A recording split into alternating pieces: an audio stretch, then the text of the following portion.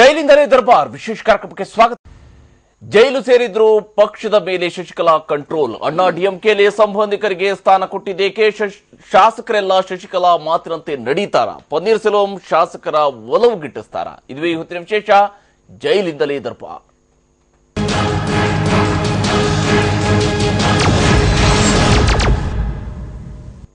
ತಮಿಳುನಾಡಿನ ಮುಖ್ಯಮಂತ್ರಿ ಕುರ್ಚಿಯ ಮೇಲೆ ಕೂರುವ ಕನಸು ಕಂಡಿದ್ದ ಶಶಿಕಲಾ ಈಗ ಪರಪ್ಪನ ಅಗ್ರಹಾರ ಜೈಲಿನ ಕಂಬಿ ಎಣಿಸಲು ಆರಂಭಿಸಿದ್ದಾರೆ. ಅಕ್ರಮ ಆಸ್ತಿ ಗಳಿಕೆಯ ಪ್ರಕರಣದಲ್ಲಿ ಅಪರಾಧಿ ಎಂದು ಸುಪ್ರೀಂ ಕೋರ್ಟ್ ತೀರ್ಪು ನೀಡಿದ ಬಳಿಕ ಇವತ್ತು ಸಂಜೆ ಬೆಂಗಳೂರಿನ ಪರಪ್ಪನ ಅಗ್ರಹಾರದಲ್ಲಿರುವ ವಿಶೇಷ ಕೋರ್ಟ್ಗೆ ಆಗಮಿಸಿದ ಶಶಿಕಲಾ ಹಾಗೂ ಇಳವರ್ತಿ ಶರಣಾಗತರಾದರು. ಇದರೊಂದಿಗೆ ಜಯಲಲಿತಾ ನಿಧನದ ನಂತರ ತಮಿಳುನಾಡಿನಲ್ಲಿ ಚಿನ್ನಮ್ಮನ ಆಡಳಿತ ನಡೆಸಬೇಕೆಂಬ ಲೆಕ್ಕಾಚಾರ ತಲೆ ಕೆಳಗಾಗಿ ಜಯಾ ಜೊತೆ ಸೇರಿ ಮಾಡಿದ್ದ ಅಕ್ರಮಗಳ ಕಾರಣಕ್ಕೆ ಜೈಲು ಪಾಲಾಗಿದ್ದಾರೆ. ಇವತ್ತು ಸಂಜೆ ವಿಶೇಷ ಕೋರ್ಟ್ಗೆ ಆಗಮಿಸಿದ್ರು. ಭಾರಿ ಪೊಲೀಸ್ ಭದ್ರತೆಯನ್ನು ಕೂಡ ಅಲ್ಲಿ ಒದಗಿಸಲಾಗಿತ್ತು. ಚೆನ್ನೈನಲ್ಲಿ ಇದ್ದಾಗಲೆಲ್ಲ ನಾವು ಶಶಿಕಲಾ ಅವರನ್ನ ನೋಡಿದಾಗ ಅವರ ಹಿಂಭಾಗದಲ್ಲಿ ಎಲ್ಲರೂ ಕೂಡ ವೈಟ್ ಅಂಡ್ ವೈಟ್ನಲ್ಲಿ ಕಾಣ್ತಾ ಇದ್ರು. ಆದ್ರೆ ಇಲ್ಲಿ ಕಾಕಿಗಳು ಮಾತ್ರ ಕಾಣ್ತಾ ಇರುವಂತದ್ದು ಈ ಒಂದು ದೃಶ್ಯವನ್ನು ನಾವು ಗಮನಿಸಿದ್ರೆ.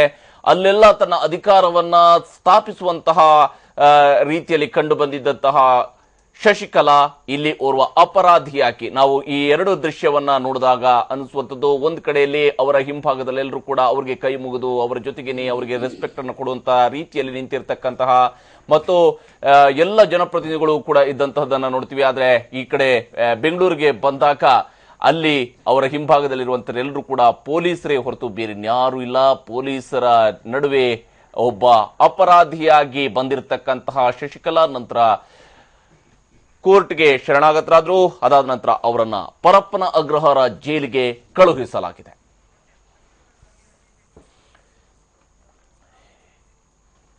ಏನೋ ಜೈಲಿಗೆ ಹೋಗೋದಕ್ಕೆ ಮುಂಚಿತವಾಗಿ ಶಶಿಕಲಾ ಮಹತ್ವದ ನಿರ್ಧಾರವನ್ನ ಚೆನ್ನೈಯಲ್ಲಿದ್ದಾಗಲೇ ಕೈಗೊಂಡ್ರು. ತಮಿಳುನಾಡು ಮಾಜಿ ಸಿಎಂ ಜಯಲಲಿತಾ ಬದುಕಿದ್ದಾಗ ಅವರು ಪಕ್ಷದಿಂದ ಉಚ್ಚಾಟನೆ ಮಾಡಿದ್ದ ಇಬ್ಬರನ್ನ ಶಶಿಕಲಾ ಮತ್ತೆ ಎಐಎಡಿಎಂಕೆ ಪಕ್ಷಕ್ಕೆ ಸೇರಿಸಿಕೊಂಡಿದ್ದಾರೆ. ಎರಡ್ ಸಾವಿರದ ಹನ್ನೊಂದರಲ್ಲಿ ಉಚ್ಚಾಟನೆಗೊಂಡಿದ್ದ ಸೋದರ ಸಂಬಂಧಿ ಹಾಗೂ ಮಾಜಿ ಸಂಸದ ಟಿಟಿವಿ ದಿನಕರನ್ ಹಾಗೂ ಇನ್ನೋರ್ವ ಸೋದರ ಸಂಬಂಧಿ ಡಾಕ್ಟರ್ ವೆಂಕಟೇಶ್ ರನ್ನ ಶಶಿಕಲಾ ಮತ್ತೆ ಪಕ್ಷಕ್ಕೆ ಬರಮಾಡಿಕೊಂಡಿರುವಂತಹದ್ದು ತೀವ್ರ ಚರ್ಚೆಗೆ ಗ್ರಾಸವಾಗಿದೆ. ಜೊತೆಗೆ ಇಬ್ಬರಿಗೂ ಪಕ್ಷದಲ್ಲಿ ಮಹತ್ವದ ಸ್ಥಾನಗಳನ್ನು ನೀಡಲಾಗಿದೆ.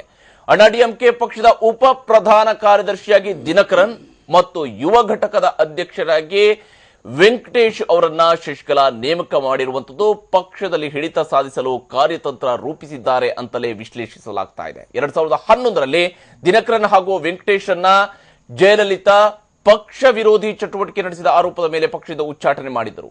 ಜಯಲಲಿತಾರಿಂದ ಉಚ್ಚಾಟನೆಗೊಂಡಿದ್ದ ಇಬ್ಬರನ್ನ ಶಶಿಕಲಾ ಮತ್ತೆ ಪಕ್ಷಕ್ಕೆ ಸೇರಿಸಿಕೊಂಡಿರುವಂತದ್ದು ಜಯಲಲಿತಾರ ಆದೇಶವನ್ನ ಶಶಿಕಲಾ ಮೀರ್ತಾ ಇದ್ದಾರಾ ಅನ್ನೋ ಪ್ರಶ್ನೆ ಕೂಡ ಉದ್ಭವ ಉಂಟಾಗುವಂತೆ ಮಾಡಿದೆ.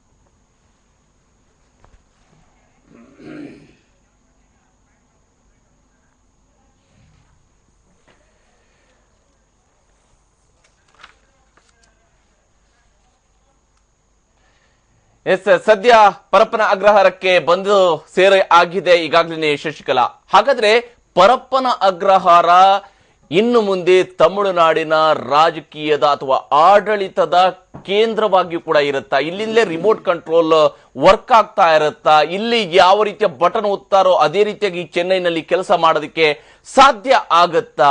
ಪಳನಿಸ್ವಾಮಿ ಇರಬಹುದು ಅವರ ಜೊತೆಗೆ ಇರತಕ್ಕಂತ ಇತರೆ ನಾಯಕರುಗಳಿರಬಹುದು ಇವರೆಲ್ಲರೂ ಕೂಡ ಶಶಿಕಲಾ ಹೇಳದಂತೆ ಕೇಳೋದಕ್ಕೆ ಸಾಧ್ಯ ಆಗತ್ತಾ? ಅಥವಾ ಪನ್ನೀರ್ ಸೆಲ್ವಂ ಕಂಪ್ಲೀಟ್ ಆಗಿ ಅಣ್ಣಾ ಡಿಎಂಕೆ ಪಕ್ಷದ ಮೇಲೆ ಹಿಡಿತವನ್ನು ಸಾಧಿಸೋದಕ್ಕೆ ಸಾಧ್ಯ ಆಗಬಹುದಾ? ಎಲ್ಲ ವಿಚಾರದ ಬಗ್ಗೆ ಮಾತಾಡೋಣ. ನಮ್ಮ ಜೊತೆಗೆ ನಮ್ಮ ಸ್ಟುಡಿಯೋದಲ್ಲಿ ಅತಿಥಿಗಳು ಕೂಡ ಜಾಯ್ನ್ ಆಗಿದ್ದಾರೆ. ಕರ್ನಾಟಕ ಮಾಧ್ಯಮ ಅಕಾಡೆಮಿಯ ಸದಸ್ಯರಾಗಿರುವ ಹಿರಿಯ ಪತ್ರಕರ್ತ ಟಿ ಎಸ್ ರಂಗಣ್ಣ ನಮ್ಮ ಜೊತೆಗೆ ಈ ಕಾರ್ಯಕ್ರಮದಲ್ಲಿ ಜಾಯ್ನ್ ಆಗಿದ್ದಾರೆ. ಹಾಗೆಯೇ ಮೈಸೂರಿನಿಂದ ನಮ್ಮ ಜೊತೆಗೆ ಔಟ್ಲುಕ್ ಪತ್ರಿಕೆಯ ನಿವೃತ್ತ ಪ್ರಧಾನ ಸಂಪಾದಕರಾಗಿರುವ ಕೃಷ್ಣ ಪ್ರಸಾದ್ ಅವರು ಈ ಕಾರ್ಯಕ್ರಮದಲ್ಲಿ ಜಾಯ್ನ್ ಆಗಿದ್ದಾರೆ. ಅಣ್ಣಾ ಡಿಎಂಕೆಯ ರಾಜ್ಯ ವಕ್ತಾರರಾಗಿರುವ ಸಂಪತ್ ಕುಮಾರ್ ಅವರು ಶಿವಮೊಗ್ಗದಿಂದ ಜಾಯ್ನ್ ಆಗಿದ್ದಾರೆ. ಹಾಗೆಯೇ ನಮ್ಮ ಚೆನ್ನೈ ಪ್ರತಿನಿಧಿ ರಮೇಶ್ ಕಂಠಿರವ ಚೆನ್ನೈನಿಂದ ನಮ್ಮ ಜೊತೆಗೆ ಈ ಕಾರ್ಯಕ್ರಮದಲ್ಲಿ ಜಾಯ್ನ್ ಆಗ್ತಾರೆ. ನಮ್ಮ ಅತಿಥಿಗಳ ಜೊತೆಗೆ ಮಾತನಾಡಿಸೋದಕ್ಕಿಂತ ಮುಂಚಿತವಾಗಿ ಶಶಿಕಲಾ ಅವರ ನಡೆಯ ಬಗ್ಗೆ ಮತ್ತು ಜೈಲಿಗೆ ಸೇರಿದ ನಂತರ ಏನಾಗಬಹುದು ಅನ್ನೋದ್ರ ಬಗ್ಗೆ ಪ್ರಮುಖ ಮೂರು ಅಂಶಗಳ ಕಡೆಗೆ ಗಮನ ಹರಿಸೋಣ. ಮುಖ್ಯವಾಗಿ ಶಶಿಕಲಾ ಅವರಿಗೆ ಜಯಲಲಿತಾ ಶಾಸಕರ ಮೇಲೆ ಹೊಂದಿದ್ದಂತಹ ನಿಯಂತ್ರಣ ಶಶಿಕಲಾ ಅವ್ರಿಗೂ ಕೂಡ ಇರುತ್ತಾ? ಜೈಲಿನಿಂದಲೇ ಏನು ಶಶಿಕಲಾ, ಜಯಲಲಿತಾ ಅವರು ನಿಯಂತ್ರಣ ಮಾಡಿದ್ರು, ಅದೇ ನಿಯಂತ್ರಣವನ್ನ ಸಾಧಿಸೋದಕ್ಕೆ ಶಶಿಕಲಾಗೂ ಕೂಡ ಸಾಧ್ಯ ಆಗುತ್ತಾ? ಹಾಗೇನೆ ಜೈಲಿನಿಂದಲೇ ಶಾಸಕರೆಲ್ಲರನ್ನು ಕೂಡ ರಿಮೋಟ್ ಕಂಟ್ರೋಲ್ ಅಂತ ನಿಯಂತ್ರಿಸುವಂತದ್ದು ಶಶಿಕಲಾ ಅವರಿಂದ ಸಾಧ್ಯ ಆಗಬಹುದಾ? ಅಷ್ಟೊಂದು ಸಾಮರ್ಥ್ಯ ಶಶಿಕಲಾ ಅವರಿಗೆ ಇರುತ್ತಾ? ಆ ಒಂದು ನಿಯಂತ್ರಣವನ್ನ ಹೇರುವಂತಹ ಶಕ್ತಿಯನ್ನು ಅವರು ಉಳಿಸ್ಕೊಳ್ಳೋದಕ್ಕೆ ಸಾಧ್ಯ ಆಗುತ್ತಾ ಅನ್ನುವಂತಹದ್ದು.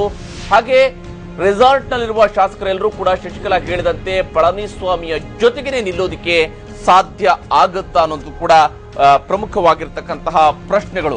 ಎಸ್, ನಾವು ಚರ್ಚೆಯನ್ನು ಆರಂಭಿಸೋಣ. ಮೊದಲಿಗೆ ಸಂಪತ್ ಕುಮಾರ್ ಅವರೇ ಕೊನೆಗೂ ಶಶಿಕಲಾ ಜೈಲು ಸೇರಿದ್ದಾರೆ. ಹಾಗಾದ್ರೆ ಶಶಿಕಲಾ ಇಲ್ಲಿಂದಲೇ ಇದ್ದುಕೊಂಡು ಶಾಸಕರೆಲ್ಲರೂ ಕೂಡ ಶಶಿಕಲಾ ಅವರು ಹೇಳಿರ್ತಕ್ಕಂಥ ಮಾತನ್ನ ಕೇಳ್ತಾರ? ಖಂಡಿತವಾಗ್ಲೂ ಕೇಳೋ ಅವಕಾಶಗಳು ಜಾಸ್ತಿ ಇದೆ. ಯಾಕಂತ ಹೇಳಿದ್ರೆ, ಈಗಾಗಲೇ ಪಕ್ಷದ ವಿಧಾನಸಭಾ ಕ್ಷೇತ್ರಗಳಿಂದ ಆಯ್ಕೆಯಾಗಿರ್ತಕ್ಕಂಥ ಶಾಸಕರುಗಳು ಇಲ್ಲಿ ತನಕ ನಡ್ಕೊಂಬಂದಿದ್ದ ರೀತಿ ನೀತಿನೇ ಬೇರೆ ಆಗಿತ್ತು. ಇವತ್ತು ಹನ್ನೊಂದು ಗಂಟೆಯ ಮೇಲೆ ಶಶಿಕಲಾರವರು ಚೆನ್ನೈಯನ್ನು ಬಿಟ್ಟು ಬೆಂಗಳೂರು ಕಡೆಗೆ ಬರ್ತಾ ಇರೋ ಸಂದರ್ಭದಲ್ಲಿ ಈಗಾಗಲೇ ರಾಜ್ಯಪಾಲರು ಒಂದು ಸಬ್ಜೆಕ್ಟನ್ನು ಪಳನಿಸ್ವಾಮಿ ಅವರಿಗೆ ಹೇಳಿದರು. ಏನಂತ? ಹೊಸದಾಗಿ ನಿಮ್ಮನ್ನು ಬೆಂಬಲಿಸುವ ಶಾಸಕರುಗಳ ಪಟ್ಟಿಯನ್ನು ಕೊಡಿ ಅಂತೇಳಿ ಇವತ್ತು ಮಧ್ಯಾಹ್ನ ಕೇಳಿ. ತತ್ಕ್ಷಣದಲ್ಲಿ ಶಶಿಕಲಾರವರು ಚೆನ್ನೈಯ ಕೇಂದ್ರ ಸ್ಥಾನವನ್ನು ಬಿಟ್ಟು ಬಂದ ಮೇಲೆ ನೂರಿಪ್ಪತ್ತೈದು ಜನ ಶಾಸಕರುಗಳು ಇವತ್ತು ಸಹಿ ಮಾಡಿ ರಾಜ್ಯಪಾಲರಿಗೆ ಈಗಾಗಲೇ ರವಾನಿಸಿದ್ದಾರೆ ಪಳನಿಸ್ವಾಮಿ ಅವರು. ಅದರಲ್ಲಿ ನೂರಿಪ್ಪತ್ತೈದು ಜನ ಶಾಸಕರುಗಳು ಹಿಂದೆ ಏನು ಸಹಿ ಮಾಡಿದ್ರೋ, ಅವರುಗಳು ಹೊಸದಾಗಿ ಸಹಿ ಮಾಡಿ ಪಳನಿಸ್ವಾಮಿ ಅವರನ್ನು ಮುಖ್ಯಮಂತ್ರಿಗಳಿಗಾಗಿ ಪದಗ್ರಹಣ ಮಾಡೋದಕ್ಕೆ ಕರಿಬೇಕು ಅಂಥೇಳಿ ಈಗಾಗಲೇ ಪತ್ರವನ್ನು ರವಾನಿಸಿದ್ದಾರೆ. ಈಗ ರಾಜ್ಯಪಾಲರು ಅಂಗಳದಲ್ಲಿ ಚೆಂಡಿದೆ. ಈಗ ಅವರು ನಿರ್ಧಾರವನ್ನು ತಗೋಬೇಕು. ಇಲ್ಲಿ ತನಕ ಡೋಲಾಯಮಾನವಾಗಿತ್ತು, ಅವರು ಪರನ, ವಿರುದ್ಧನ, ಯಾರು, ಯಾರ ಪರ ಅನ್ನೋದು ಒಂದು ಜಿಜ್ಞಾಸೆಯಲ್ಲಿತ್ತು. ಆದರೆ ಈಗ ಕ್ಲಿಯರ್ ಆಗಿದೆ, ನೂರಿಪ್ಪತ್ತೈದು ಜನ ಶಾಸಕರು ಎಡಪ್ಪಾಡಿ ಪಳನಿಸ್ವಾಮಿ ಅವರನ್ನು ಬೆಂಬಲಿಸಿ ಈಗಾಗಲೇ ಸಹಿ ಮಾಡಿ ರಾಜ್ಯಪಾಲರಿಗೆ ಪತ್ರವನ್ನು ರವಾನಿಸಿದ್ದಾರೆ. ಹಾಗಾಗಿ ರಾಜ್ಯಪಾಲರು ಈಗ ಪಳನಿಸ್ವಾಮಿ ಅವರನ್ನು ಕರಿಬೇಕಾದಂಥ ಅನಿವಾರ್ಯ ಪರಿಸ್ಥಿತಿ ನಿರ್ಮಾಣ ಆಗಿದೆ. ರಾಜ್ಯಪಾಲರು ಇನ್ನೂ ಮೀನಾಮೇಷ ಎಣಿಸದೆ ಪ್ರಜಾಪ್ರಭುತ್ವವನ್ನು ನೆಲೆ ನಿಲ್ಲಿಸುವ ರೀತಿಯಲ್ಲಿ ಪಳನಿಸ್ವಾಮಿಯವರನ್ನು ಮುಖ್ಯಮಂತ್ರಿ ಸ್ಥಾನಕ್ಕೆ ಪದಗ್ರಹಣ ಮಾಡಲು ಕರಿಬೇಕು ಅಂತೇಳಿ ನಾವು ಅವರಲ್ಲಿ ಮನವಿಯನ್ನು ಈಗಾಗಲೇ ಸಂಬಂಧಪಟ್ಟ ಮುಂದೆ ಕೂಡ ಕೇಳ್ತಾರೆ ಅಂತ ವಿಶ್ವಾಸ ಇದೆ ನಿಮಗೆ. ಅಲ್ಲ ಈಗಾಗಲೇ ಅದು ಸಾಬೀತಾಗಿದೆ. ಯಾಕಂದ್ರೆ ಶಶಿಕಲಾರವರು ಕೇಂದ್ರ ಸ್ಥಾನ ಬಿಟ್ಟ ಮೇಲೆ ಅವರುಗಳು ಸಹಿ ಮಾಡಿ ಕೊಟ್ಟಿರೋದು. ಓಕೆ ಅವರೇ ಅವರೇ, ನೋಡ್ತೀರಿ? ಈ ಒಂದು ಬೆಳವಣಿಗೆಯನ್ನ ಶಶಿಕಲಾ ಜೈಲಿಗೆ ಹೋದ ನಂತರ ಕೂಡ ಹಿಂದೆ ಜಯಲಲಿತಾ ಜೈಲಿಗೆ ಹೋಗಿದ್ದಾಗ ಪನ್ನೀರ್ ಸೆಲ್ವಂ ಮೂಲಕವಾಗಿ ಆಡಳಿತವನ್ನ ನಡೆಸಿದ್ರು. ಪನ್ನೀರ್ ಸೆಲ್ವಂ ಏನೇ ಮಾಡಿದ್ರು ಕೂಡ ಅದು ಜಯಲಲಿತಾ ಅವರ ಆದೇಶದ ಮೇರೆಗೆ ನಡೀತಾ ಇತ್ತು. ಅದೇ ರೀತಿಯಾದಂತಹ ಒಂದು ವ್ಯವಸ್ಥೆ ಆಗಿದ್ರೆ ಪಳನಿಸ್ವಾಮಿ ಮೂಲಕವಾಗಿ ಕೂಡ ನಡಿಬಹುದು ಅಂತೇಳಿ ಅನ್ಸುತ್ತಾ ಕೃಷ್ಣ ಪ್ರಸಾದ್ ಅವರೇ?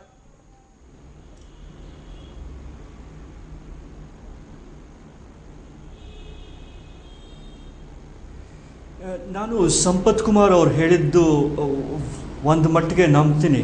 I completely believe in that ಯಾಕೆ ಅಂದರೆ ಸೋಫಾರ್ ಈ ಈ ಹೋದ ಭಾನುವಾರದಿಂದ ಇವತ್ತು, ಅಂದರೆ ಬುಧವಾರದವರೆಗೆ, ಅಂದರೆ ಹತ್ತು ದಿನದಲ್ಲಿ ಒಂದು ಥರದಲ್ಲಿ ಡಿ ಎಂ ಕೆ ಪಾರ್ಟಿ ಏನೇ ಆದರೂ ಒಂದು ಕಾಂಪೋಸಿಟ್ ಹೋಲ್ ಆಗಿ ಉಳಿದುಕೊಂಡಿದೆ ಇನ್ನೂವೇ ಸ್ಪನ್ನೀರ್ ಸೇನ್ವಾಲ್ ಅವರು ಅವರ ರೆಬೆಲಿಯನ್ ಮಾಡಿ ಗವರ್ನರ್ ಆಟಗಳು ಆಡಿ ಸೆಂಟರ್ ಅದರ ಆಟಗಳು ಆಡಿದ್ರೂ ಈ ರೆಸಾರ್ಟ್ ಪಾಲಿಟಿಕ್ಸ್ ಆಡಿದ್ರೂ ಸುಮಾರು ನೂರಿಪ್ಪತ್ತರಿಂದ ನೂರಿಪ್ಪತ್ತೈದು, ನೂರಿಪ್ಪತ್ತೆಂಟು ಜನ ಒಟ್ಟಿಗೆ ಇದ್ದಂಗೆ ಕಾಣಿಸುತ್ತೆ. ಒಂದು. ಅದು ಇವತ್ತು ಮಧ್ಯಾಹ್ನದ ಹೊರಗೆ ಖಂಡಿತ ಸಂಪತ್ ಕುಮಾರ್ ಅವ್ರು ಹೇಳೋ ಥರ, ಪ ಶಶಿಕಲಾ ಅವರು ಮದ್ರಾಸ್ ಬಿಟ್ಟ ಮೇಲೆ ಈ ಎಡ ಪಳನಿಸ್ವಾಮಿ ಅವರು ನೂರಿಪ್ಪತ್ತೈದು ಜನದ, ಈ ನೂರಿಪ್ಪತ್ತೆಂಟು ಜನದ ಮನವಿಯನ್ನು ಗವರ್ನರ್ಗೆ ಸಲ್ಲಿಸಿದ್ದಾರೆ. So therefore it is true that till ನಾವು Shashikala has been able to run the party somewhat despite all the troubles but ನನಗೆ ಇನ್ನೊಂದು ಚೂರ್ ಎಲಿಮೆಂಟ್ ಆಫ್ ಡೌಟ್ ಏನಿದೆ ಅಂದರೆ ಈ ಶೋ ಆಫ್ ಸ್ಟ್ರೆಂತ್ ಇರುತ್ತಲ್ಲ ಅಸೆಂಬ್ಲಿಲಿ ಮುಂದಿನ ವಾರ ಅಥವಾ ಈ ವಾರನೇ ಯಾವತ್ತೋ. ಇನ್ನು ಅಲ್ಲಿ ಏನಾಗುತ್ತೆ ಅನ್ನೋದ್ರ ಮೇಲೆ I think it will depend ಒಂದು, ಯಾಕೆ ಅಂದರೆ ಅಲ್ಲಿ if the governor goes for a for a secret ballot ಇದು ವಿಲ್ ಇಟ್ ಚೇಂಜ್ ಅಂದರೆ ಈ ಎಂ ಎಲ್ ಎಗಳು ಅವರ ಅಭಿಪ್ರಾಯವನ್ನು ಬದಲಾಯಿಸ್ತಾರ ಅನ್ನೋದ್ರ ಬಗ್ಗೆ ಒಂಚೂರು ಡೌಟ್ ಇದೆ. ಅಟ್ಲೀಸ್ಟ್ ಇಲ್ಲಿವರೆಗೆ ಶಶಿಕಲಾ ಅವರು she's been able to run the party run the M L As keep the M L As together for ten days clearly one second point third point Jayalalithaa ಅವ್ರಿಗೂ ಮತ್ತು ಶಶಿಕಲಾ ಅವ್ರಿಗೂ ಒಂದು ದೊಡ್ಡ ವ್ಯತ್ಯಾಸ ಇದೆ. ಜಯಲಲಿತಾ ಅವರು ಜೈಲಿಗೆ ಹೋದಾಗ ಅವರು ಮುಖ್ಯಮಂತ್ರಿ ಆಗಿದ್ರು. ಒಂದು ಸರಿ ಆಗಿದ್ರು, ಎರಡು ಸರಿ ಆಗಿದ್ರು. ಶಶಿಕಲಾ ಅವರು ಆ ಥರ ಮುಖ್ಯಮಂತ್ರಿ ಆಗಿಲ್ಲ ಯಾವತ್ತೂ. ಸೊ ಅವರ ಅವರ ಪೊಸಿಷನ್ ಅಷ್ಟು ಸ್ಟ್ರಾಂಗ್ ಆಗಿದೆಯಾ ಅಂತ ನನಗೆ ಇನ್ನೂ ಗೊತ್ತಿಲ್ಲ. ನನಗೆ ಮಧ್ಯಾಹ್ನದಿಂದ ಒಂದು ದೊಡ್ಡ ಡೌಟ್ ಇದೆ ಮನಸ್ಸಲ್ಲಿ. ಏನು ಅಂದರೆ, ಈ ಶಶಿಕಲಾ ಅವರು ಅವರ ಸಂಬಂಧಿಗಳನ್ನ, ಅಂದರೆ ಈ ದಿನಕರನ್ ಆಗಲಿ ಡಾಕ್ಟರ್ ವೆಂಕಟೇಶ್ ಆಗಲಿ, ಇವ್ರನ್ನ ನಾಮಿನೇಟ್ ಮಾಡೋದ್ರಲ್ಲಿ ಈ ಥರ ಒಂದು ಏನೋ unilateral decision ತಗೊಳ್ಳೋದ್ರಲ್ಲಿ will that result in some kind of a dissent within the A I D M K ಯಾಕೆ ಅಂದರೆ ನೀವಾಗಲೇ ಒಂದು ರಿಪೋರ್ಟ್ ನೋಡಿರ್ಬೋದು ಕೆ ಪಾಂಡ್ಯನ್ ಅನ್ನೋರು organizing secretary secretary I think ಅವರು he has left the camp and gone to the other side at least is decided not to be with the Shashikala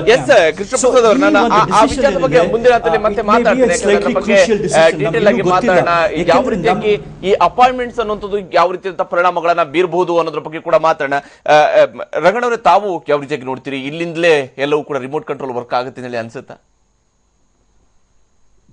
ಇವತ್ತಿನ ಬೆಳವಣಿಗೆಗಳು ನೋಡಿದರೆ ಶಶಿಕಲಾ ಗುಂಪಿನ ಎ ಡಿ ಎಂ ಕೆಗೆ ನಾನು ಯಾಕೆ ಹೇಳ್ತೀನಿ ಅಂತಂದ್ರೆ ಈಗ ಆಲ್ರೆಡಿ ಡಿವೈಡ್ ಒಂಥರ ಆಗಿದೆ. ಅದಕ್ಕೆ ಶಶಿಕಲಾ ಗುಂಪು ಅಂತ ಹೇಳೋದು ನಾನು. ಶಶಿಕಲಾ ಗುಂಪಿನ ಎ ಡಿ ಎಂ ಕೆ ಈ ಗುಂಪಿಗೆ ಮೆಜಾರಿಟಿ ಬರ್ತಾ ಇರೋ ಹಂಗೆ ಕಾಣ್ತಾ ಇದೆ. ಆದರೆ ಗವರ್ನರ್ ಅವರು ಇವ್ರನ್ನ ಇದೇ ಆಧಾರದ ಮೇಲೆ ಇನ್ವೈಟ್ ಮಾಡ್ತಾರಾ? ಇನ್ವೈಟ್ ಮಾಡಿ ಅಲ್ಲೇನಾದ್ರು ಪ್ರೂವ್ ಆಯಿತು ಅಂತಂದರೆ ಖಂಡಿತವಾಗಿ Bengaluru will become the second capital of Tamil Nadu administration wise ಇದು ಕರ್ನಾಟಕದಲ್ಲಿ ಇರ್ಬೋದು ಬೆಂಗಳೂರು ಬಟ್ ಆ ಅಧಿಕಾರದ ಕೇಂದ್ರ ಬಿಂದು ಬೆಂಗಳೂರಿನಲ್ಲೇ ಇರೋದ್ರಿಂದ, ಮತ್ತು A D M K politics ಎಲ್ಲ ಶಶಿಕಲಾ ಸುತ್ತ ಗಿರಿಕೆ ಹೊಡೆಯೋದ್ರಿಂದ ಮತ್ತು ಈ ಪರಪ್ಪನ ಅಗ್ರಹಾರವೇ ಒಂದು ರೀತಿ ಸೆಂಟ್ರಲ್ ಪಾಯಿಂಟ್ ಆಗುತ್ತೆ. ಬಟ್ ಇವರು ಸಾಮಾನ್ಯ ಖೈದಿಯಾಗಿ ಇವರು ಇಟ್ಟಿರೋದ್ರಿಂದ, ಮತ್ತು ಇಲ್ಲೊಂದು ಅಪೋಸಿಷನ್ ಪಕ್ಷದ ಸರ್ಕಾರ ಇರೋದ್ರಿಂದ, ಮತ್ತು ಇವ್ರನ್ನ ಅಲೋ ಮಾಡ್ತಾರಾ? ಇವೆಲ್ಲ ಇದೆಲ್ಲ ಗೊತ್ತಿರುತ್ತೆ ಅವರಿಗೆ. ಅಲೋ ಮಾಡ್ತಾರ ಅನ್ನೋದು ಪ್ರಶ್ನೆ. ಮೂರನೇದೇನು ಅಂತಂದರೆ ಎ ಡಿ ಎಂ ಕೆನಲ್ಲಿ ಡಿವೈಡ್ ಆಗಿರೋದ್ರಿಂದ ಅವರ ರಾಜಕೀಯ ಬೆಂಗಳೂರಿಗೆ ಎಕ್ಸ್ಟೆಂಡ್ ಆಗುತ್ತಾ? ಬರೇ ರಾಜಕೀಯ ಎಲ್ಲ ಹೊಡೆದಾಡ ಇವತ್ತಾಗಲೇ. ಕಾರೆಲ್ಲ ಹೊಡೆದಾಕಿದ್ದಾರೆ. ಅದು ಯಾವ ಮಟ್ಟಕ್ಕೆ ಹೋಗುತ್ತೆ ಅನ್ನೋದು ಇಂಪಾರ್ಟೆಂಟು ಮೂರನೇದು ಶಶಿಕಲಾ ಒಂದು ರೀತಿಯಲ್ಲಿ ಇವತ್ತಿಂದ ಅಂತಲ್ಲ ಪ್ರಾರಂಭದ ದಿನಗಳಿಂದಲೂ ಕೂಡ ಬಹಳ ಕ- ಹಿಂದಿನಿಂದಲೂ ಪಕ್ಷದ ಮೇಲೆ ಕಂಟ್ರೋಲ್ ಇದ್ದೇ ಇದೆ. ಆ ಜಯಮ್ಮನಿಗೆ ಹೆದರ್ಕೊಂಡು ಅವರು ತಾವೇ ಏನು ಸ್ಟೇಟ್ಮೆಂಟ್ ಕೊಡೋದು ಮಾಡೋದಲ್ಲ ಓಪನ್ ಆಗಿ ಮಾಡ್ತಿರಲಿಲ್ಲ ಅಷ್ಟೇ. ಬಟ್ ಅವ್ರ ಮಾತು ನಡೀತಾ ಇರ್ತಿತ್ತು ಅವರ ಹೋಲ್ಡ್ ಪೂರ್ತಿ ಇತ್ತು ಜಯ ಜಯಲಲಿತಾ ಅವ್ರ ಮೇಲೆ. ಸೊ ಜಯಲಲಿತಾ ಅವ್ರು ಹೋದ್ಮೇಲೆ ಇವಾಗ ಅವರು ಅಲ್ಲಿ ಪ್ರತಿಜ್ಞೆ ಸ್ವೀಕರಿಸೋದು ಅಲ್ಲಿ ಕಲ್ ತಟ್ಟೋದು ಸಮಾಧಿ ತಟ್ಟೋದೆಲ್ಲ ನೋಡಿದ್ರೆ ತಮಿಳುನಾಡಿನ ಜನನೂ ಕೂಡ ಸ್ವಲ್ಪ ರೋಷದವರೇ ಹಠದವರೇ. ಅವರು ಅಂದುಕೊಂಡ್ರೆ ಮಾಡ್ತಾರೆ. ಫೇಲ್ ಆಗೋದು ವಿಚಾರ ಬೇರೆ. ಬಟ್ ಅದನ್ನು ಮಾಡ್ತಾರೆ ಅಂಥೇಳಿ ನನಗೆ ಖಚಿತವಾಗಿ ಅನಿಸುತ್ತೆ.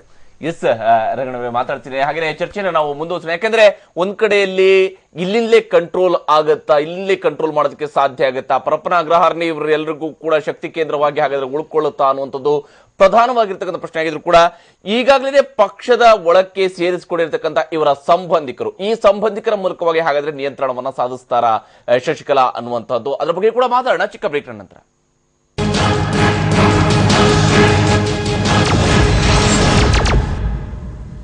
ಮೃಗಂತ್ರ ಮತ್ತೊಮ್ಮೆ ಸ್ವಾಗತ. ನಾವು ಚರ್ಚೆಯನ್ನ ಮುಂದುವರಿಸೋಣ. ಅದಕ್ಕಿಂತ ಮುಂಚಿತವಾಗಿ ಇನ್ನು ಪ್ರಮುಖ ಮೂರು ಅಂಶಗಳ ಕಡೆಗೆ ಗಮನ ಹರಿಸೋಣ. ಇವತ್ತು ಏನು ಶಶಿಕಲಾ ಅವರು ನೇಮಕ ಮಾಡಿರ್ತಕ್ಕಂಥ ಸಂಬಂಧಿಕರಾಗಿರುವಂತಹ ಟಿ ಟಿಟಿವಿ ದಿನಕರನ್ ಹಾಗೂ ಡಾಕ್ಟರ್ ವೆಂಕಟೇಶ್ ಕಣ್ಣ ಡಿಎಂಕೆಗೆ ಸ್ಥಾನ ನೀಡಿರುವಂತದ್ದು ಸರಿಯಾದಂತಹ ನಿರ್ಧಾರವೇ? ರಾಜಕೀಯವಾಗಿ ಈ ನಿರ್ಧಾರ ಅತ್ಯಂತ ಸರಿಯಾಗಿರುವಂತದ್ದೇ ಅನ್ನುವಂಥದ್ದು. ಹಾಗೆಯೇ ಇವರಿಬ್ಬರ ಮೂಲಕವಾಗಿ ಪಕ್ಷದ ಮೇಲೆ, ಜೈಲಿನಲ್ಲಿದ್ರು ಕೂಡ ಕುಟುಂಬದವರ ಮೂಲಕ ಶಶಿಕಲಾ ಅಣ್ಣಾ ಡಿಎಂಕೆಯನ್ನ ನಿಯಂತ್ರಿಸೋದಿಕ್ಕೆ ಸಾಧ್ಯ ಆಗುತ್ತಾ ಅನ್ನುವಂಥದ್ದು ಕೂಡ ಅಷ್ಟೇ ಪ್ರಧಾನವಾಗಿರ್ತಕ್ಕಂಥ. ಯಾಕಂದ್ರೆ ಜೈಲಿನಲ್ಲಿ ಇದ್ದುಕೊಂಡು ತನ್ನ ಕುಟುಂಬದವರ ಮೂಲಕವಾಗಿ ಅಣ್ಣಾ ಡಿಎಂಕೆಯಲ್ಲಿ ಏನ್ ನಡಿಬೇಕು, ಯಾರು ಏನ್ ಮಾಡಬೇಕು, ಯಾರು ಯಾವ ಸ್ಥಾನದಲ್ಲಿರ್ಬೇಕು ಅನ್ನೋದನ್ನ ನಿಯಂತ್ರಿಸೋದಕ್ಕೆ ಆಗುತ್ತಾ ಹಾಗೆ ಇನ್ನೊಂದು ಪ್ರಮುಖವಾಗಿ ಅಣ್ಣಾ ಡಿಎಂಕೆ ಪಕ್ಷವನ್ನು ಉಳಿಸೋದಕ್ಕೆ ಶಶಿಕಲಾ ನಾಯಕತ್ವ ಅನಿವಾರ್ಯ ಆಗುತ್ತಾ? ಅಣ್ಣಾ ಡಿಎಂಕೆ ಶಶಿಕಲಾ ನಾಯಕತ್ವ ಇಲ್ಲದೆ ಇದ್ರೆ ಉಳಿಯೋದಿಲ್ವೋ ಅನ್ನುವಂಥದ್ದು ಕೂಡ ಅಷ್ಟೇ ಮುಖ್ಯ. ನಮ್ಮ ಚೆನ್ನೈ ಪ್ರತಿನಿಧಿ ರಮೇಶ್ ಕಂಠೀರವ ಕೂಡ ಜಾಯ್ನ್ ಆಗಿದ್ದಾರೆ. ಅವ್ರ ಜೊತೆಗೆ ಮಾತಾಡ್ತಿದ್ದಾರೆ ಅದಕ್ಕಿಂತ ಮುಂಚಿತವಾಗಿ ಸಂಪತ್ ಕುಮಾರ್ ಅವರೇ, ನಿನ್ನೆ ನೀವು ಒಂದು ಮಾತನ್ನು ಹೇಳಿದ್ರಿ. ಪಾಂಡ್ಯನ್ ಅಂತವರು ಅವರನ್ನೆಲ್ಲ ಉಚ್ಚಾಟನೆ ಮಾಡಿದವರು, ಅವರೆಲ್ಲರೂ ಕೂಡ ಹೋಗಿ ಪನ್ನೀರ್ ಸೆಲ್ವಂ ಜೊತೆಗೆ ಸೇರ್ಕೊಂಡಿದ್ದಾರೆ ಅಂತ ಹೇಳಿ ಹಾಗಾದ್ರೆ ಈ ದಿನಕರನ್ ಯಾರು, ಈ ವೆಂಕಟೇಶ್ ಯಾರು, ಈ ನಿರ್ಧಾರವನ್ನು ಏನು ಹೇಳ್ತೀರಿ? ಅಲ್ಲ ಈಗಾಗಲೇ ಪನ್ನೀರ್ ಸೆಲ್ವಂ ಅಂತ ಲೀಡ್ರ್ಗಳನ್ನು ಅಮ್ಮಾರವರಿಗೆ ಪರಿಚಯ ಮಾಡಿ ಅವರಿಗೆ ಆ ಸ್ಥಾನ ಅಂದರೆ ಅಭ್ಯರ್ಥಿತನವನ್ನು ಕೊಡಿಸಿದ್ದು ಟಿ ಟಿ ವಿ ದಿನಕರನ್. ಈ ಒಂದು ಸಣ್ಣ ಎಕ್ಸಾಂಪಲ್ ಮಹಾಭಾರತದಲ್ಲಿ ಇವತ್ತಿನ ದಿನ ಯಾರು ಯುದ್ಧಕ್ಕೆ ಬರ್ತಾರೆ ನೇತೃತ್ವ ವಹಿಸ್ಕೊಳ್ತಾರೆ ಅನ್ನೋದನ್ನು ತಿಳ್ಕೊಂಡು ಅದಕ್ಕೆ ಆಪೋಸಿಟಲ್ಲಿ ಇರ್ತಕ್ಕಂಥವ್ರು ಯಾರನ್ನ ಆ ಯುದ್ಧಕ್ಕೆ ಕಳಿಸ್ಬೇಕು ಅನ್ನೋದನ್ನ ನಿರ್ಧಾರ ಮಾಡ್ತಾರೆ. ಹದಿನೆಂಟು ದಿನ ಆಗಿದ್ದಾರೆ. ನಿಮಗೀಗ. ಅಲ್ಲ ಅಲ್ಲ, ನಮಗೆ ಚಿನ್ನಮ್ಮ ಆಗಲಿ, ಪನ್ನೀರ್ ಸೆಲ್ವಂ ಆಗಲಿ ಅನಿವಾರ್ಯ ಅಲ್ಲ. ನಮಗೆ ಅಣ್ಣಾ ಡಿ ಎಂ ಕೆ ಕಾರ್ಯಕರ್ತರು ಲಕ್ಷಾಂತರ ಜನ ಹೂವುಗಳನ್ನು ಸೇರಿಸೋದಕ್ಕೆ, ಅದನ್ನು ಪೋಣಿಸೋದಕ್ಕೆ ನಾರು ಬೇಕು, ಬಲವಾದ ನಾರು. ಹೂವುಗಳು Anna D M K M G R ಅವರ ಬ ಕಾರ್ಯಕರ್ತರು ಅಮ್ಮರವರ ಕಾರ್ಯಕರ್ತರುಗಳು. ಇವರುಗಳನ್ನೆಲ್ಲ ಒಟ್ಟು ಮಾಡಿ ತಗೊಂಡು ಹೋಗೋ ಶಕ್ತಿ ಪನ್ನೀರ್ ಸೆಲ್ವಂ ಅವರಲ್ಲೂ ಇದೆ ಶಶಿಕಲಾರವರಲ್ಲೂ ಇದೆ. ಆದರೆ ತಂದೆ ತಾಯಿ ಜಗಳದಲ್ಲಿ ಕೂಸು ಬಡವಾಯಿತು ಅನ್ನಂಗೆ ಇವತ್ತಿನ ಆಗ್ತಾ ಇದ್ದೀವಿ ಎರಡು ಜನ ಏನು ಮುಖಂಡರುಗಳು, ಏನು ಗುಂಪುಗಳು ಇದ್ದಾವೆ ಇವರೆಲ್ಲ ವೈಯಕ್ತಿಕವಾದಂಥದ್ದು. ಯಾಕಂದರೆ ನೀವು ಕೇಳಿದ ಪ್ರಶ್ನೆಗೆ ಟಿ ಟಿ ವಿ ದಿನಕರನ್ ಪೆರೆಕುಳಮಲ್ಲಿ ಎಂ ಪಿ ಅಭ್ಯರ್ಥಿಯಾಗಿ ನಿಂತು ಗೆದ್ದು ರಾಜ್ಯದಾದ್ಯಂತ ಪಕ್ಷವನ್ನು ಸಂಘಟನೆ ಮಾಡಿದ ಅನುಭವ ಅವರಿಗಿದೆ. ಡಾಕ್ಟರ್ ವೆಂಕಟೇಶ್ ಅವರು ಏನಿದ್ದಾರೆ, ಅವರು ರಾಜ್ಯದಾದ್ಯಂತ ಪಕ್ಷವನ್ನು ಸಂಘಟನೆ ಮಾಡಿದ ಕಾಲ ಇದೆ.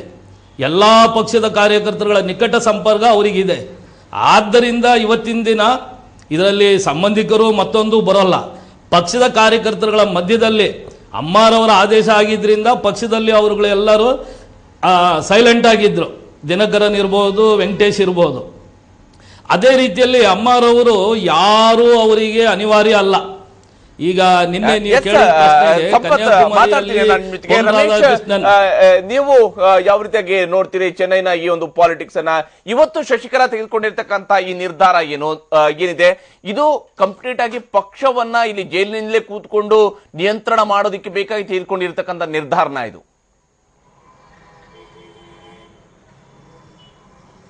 ಹೌದು ಹರಿಪ್ರಸಾದ್, ಏನು ಪಕ್ಷದ ಮೇಲೆ ಒಂದು ಹತೋಟಿ ಸಾಧಿಸಬೇಕು ಅನ್ನೋ ನಿಟ್ಟಿನಲ್ಲೇ ಈ ನಿರ್ಧಾರವನ್ನ ತಗೊಂಡಿರ್ತಕ್ಕಂಥದ್ದು. ಏನು ಶಶಿಕಲಾ ಅವರು ಪಕ್ಷಕ್ಕೆ ಈಗಾಗ ಎರಡು ಸಾವಿರದ ಹನ್ನೊಂದರಲ್ಲಿ ಅವರು ಕೂಡ ಉಚ್ಚಾಟನೆಗೊಳಗಾದ್ರು, ಆಮೇಲೆ ಕ್ಷಮಾಪಣಾ ಪತ್ರವನ್ನ ಕೊಟ್ಟು ಪಕ್ಷದಲ್ಲಿ ಸೇರ್ಕೊಂಡಿದ್ರು. ಆದರೆ ದಿನಕರನ್ ಇರ್ಬೋದು, ಇನ್ನೊಬ್ರು ನಟರಾಜನ್ ಇರ್ಬೋದು ಅಥವಾ ಯಾರು ವೆಂಕಟೇಶ್ ಇರ್ಬೋದು, ಇವರು ಯಾ, ದಿವಾಕರನ್ ಇರ್ಬೋದು, ಅವ್ರು ಯಾರನ್ನು ಕೂಡ ಪಕ್ಷದಲ್ಲಿ ಬಿಟ್ಕೊಂಡಿರಲಿಲ್ಲ, ಯಾರನ್ನು ಕೂಡ ಜಯಲಲಿತಾ ಅಲೋ ಮಾಡಿರ್ಲಿಲ್ಲ. ಏನು ಜಯಲಲಿತಾ ಅವರ ನಿಧನದ ದಿನ ಏನಿದೆ, ಅವರ ಮರಣದ ದಿನ, ಎಲ್ಲ ಪಕ್ಷದ ಕಾರ್ಯಕರ್ತರು ಇರ್ಬೋದು ನಾಯಕರು ಇರ್ಬೋದು ಎಲ್ರಿಗೂ ಆಶ್ಚರ್ಯ ತಂದಿದ್ದು ಏನಂದ್ರೆ, ಅವರ ಏನು ಪಾರ್ಥಿವ ಶರೀರವನ್ನ ರಾಜಾಜಿ ಹಾಲ್ನಲ್ಲಿ ತಂದಿಟ್ರು. ಆ ಸಂದರ್ಭದಲ್ಲಿ ಅಲ್ಲಿ ಸಂಪೂರ್ಣ ಆಕ್ಯುಪೈ ಮಾಡಿದ್ದು ಶಶಿಕಲಾ ಅವರ ಕುಟುಂಬದವರು, ಈ ದಿವಾಕರನ್ ಮನೋಹರನ್ ನಟರಾಜನ್ ಎಲ್ಲರೂ ಕೂಡ ಅಲ್ಲಿ ಇದ್ರು. ಆ ಸಂದರ್ಭದಲ್ಲಿ ಎಲ್ರಿಗೂ ಆಶ್ಚರ್ಯ ತಂದಿದ್ದು. ಈಗ ಶಶಿಕಲಾ ಅವರು ಏನು ಈ ಹಿಂದೆನೆ ಈ ರೀತಿಯ ಯಾವ್ದಾರ ಪ್ಲಾನ್ ಮಾಡಿದ್ರ? ಅವರ ಕುಟುಂಬ ವರ್ಗವನ್ನೇ ಪಕ್ಷದಲ್ಲಿ ನೆಲೆಗೊಳಿಸುವಂಥದ್ದು, ಅಧಿಕಾರವನ್ನ ಹಿಡಿಯುವಂಥದ್ದಕ್ಕೆ ಏನಾದ್ರ ಪ್ಲಾನ್ ಮಾಡಿದ್ರ ಅನ್ನೋಂತ ಒಂದು ಅನುಮಾನವನ್ನ ಅವರೆಲ್ಲರಿಗೂ ಕಾಡಿತ್ತು. ಆ ಆರೋಪಗಳನ್ನೇ ಮಾಡ್ತಾ ಅನೇಕರು ಶಶಿಕಲಾ ಅವರು ಪ್ರಧಾನ ಕಾರ್ಯದರ್ಶಿ ಆಗ್ತಿದ್ದಂಗೆ ಹೊರಗಡೆ ಬಂದಂತದ್ದು ಈಗ ಅದನ್ನೇ ಪ್ರೂವ್ ಮಾಡೋ ರೀತಿಯಲ್ಲಿ ಈಗ ಅವರು ಜೈಲಿಗೆ ಹೋಗುವಂತ ಸಂದರ್ಭದಲ್ಲಿ ಕೂಡ ಅವರ ಕುಟುಂಬ ವರ್ಗದವರನ್ನೇ ಪಕ್ಷದಲ್ಲಿ ಒಂದು ಕೀ ಪೋಸ್ಟ್ಗಳಲ್ಲಿ ಏನು ಪ್ರಧಾನ ಕಾರ್ಯದರ್ಶಿ ನಂತರದ ಒಂದು ಸ್ಥಾನ, deputy chief secretary, deputy secretary ಏನಿದೆ, ಅದನ್ನ ಅವರು ದಿನಕರನಿಗೆ ಕೊಡ್ತಾ ಇರ್ತಾರೆ. ಇನ್ನೊಂದು ಏನು ಸಾಹಿತ್ಯ ವಿಭಾಗ ಅಂದ್ರೆ ಪ್ರಚಾರದ ಎಲ್ಲ ಉಸ್ತುವಾರಿ ಅವ್ರಿಗೆ ಬರುತ್ತೆ. ಆ ವಿಭಾಗವನ್ನ ವೆಂಕಟೇಶನಿಗೆ ಕೊಡ್ತಾ ಇದ್ದಾರೆ. ಸೊ ಹಾಗಾಗಿ ಇದು ಅನುಮಾನ ಏನು, ಇದರಲ್ಲಿ ಸ್ಪಷ್ಟವಾಗಿ ಗೊತ್ತಾಗ್ತಾ ಇರತಕ್ಕಂಥದ್ದು, ಶಶಿಕಲಾ ಅವರೇ ಇದನ್ನ ಸಂಪೂರ್ಣವಾಗಿ ಪಕ್ಷವನ್ನ ನಿಯಂತ್ರಣ ಮಾಡಕ್ಕೆ ಹೋಗ್ತಿರ್ತಕ್ಕಂಥದ್ದು, ಅವರ ಕುಟುಂಬ ವರ್ಗದವರು ಆದೇಶ ಮಾಡ್ತಾರೆ ಅಂದ್ರೆ ಸಂಪೂರ್ಣ ಶಶಿಕಲಾ ಅವರ ಹತೋಟಿನಲ್ಲೇ ಪಾರ್ಟಿ ನಡಿಬೇಕು ಪರಪನ ಅಗ್ರಹಾರದಿಂದನೇ ಪಕ್ಷವನ್ನ ನಿಯಂತ್ರಣ ಮಾಡುವಂತ ಒಂದು ಪ್ಲಾನ್ ಮಾಡ್ತಿದ್ದಾರೆ, ಮಾಡಿದ್ದಾರೆ, ಅದನ್ನೇ ನಡೆಸ್ಕೊಂಡು ಹೋಗ್ತಾರೆ ಅನ್ನೋಂಥದ್ದು ಅದು ಯಶಸ್ವಿ ಆಗುತ್ತೆ ಅಂತೇಳಿ ಅನ್ಸುತ್ತಾ ರಮೇಶ್? ಯಾಕಂದ್ರೆ ಜಯಲಲಿತಾ ಅವರು ಜೈಲಲ್ಲಿದ್ದಾಗ ಕಂಟ್ರೋಲ್ ಮಾಡೋದಕ್ಕೆ ಸಾಧ್ಯ ಆಗಿತ್ತು, ಪನ್ನೀರ್ ಸೆಲ್ವಂ ಅನ್ನೋಂತಹ ಓರ್ವ ಮುಖ್ಯಮಂತ್ರಿಯನ್ನ. ಆದ್ರೆ ನಾಳೆ ದಿವಸ ಶಶಿಕಲಾ ಕೂಡ ಅದೇ ರೀತಿಯಾಗಿ ಪಳನಿಸ್ವಾಮಿಯನ್ನ ಕಂಟ್ರೋಲ್ ಮಾಡೋದಕ್ಕೆ ಆಗುತ್ತೆ ಅಂತೇಳಿ ಅನ್ಸುತ್ತಾ, ಅಥವಾ ದಿನಕರನ್ನ ಇದರಲ್ಲಿ ಕ್ರೂಷಿಯಲ್ ರೋಲ್ ಅನ್ನ ನಿಭಾಯಿಸಬಹುದು ಅಂತೇಳಿ ಅನ್ಸುತ್ತಾ?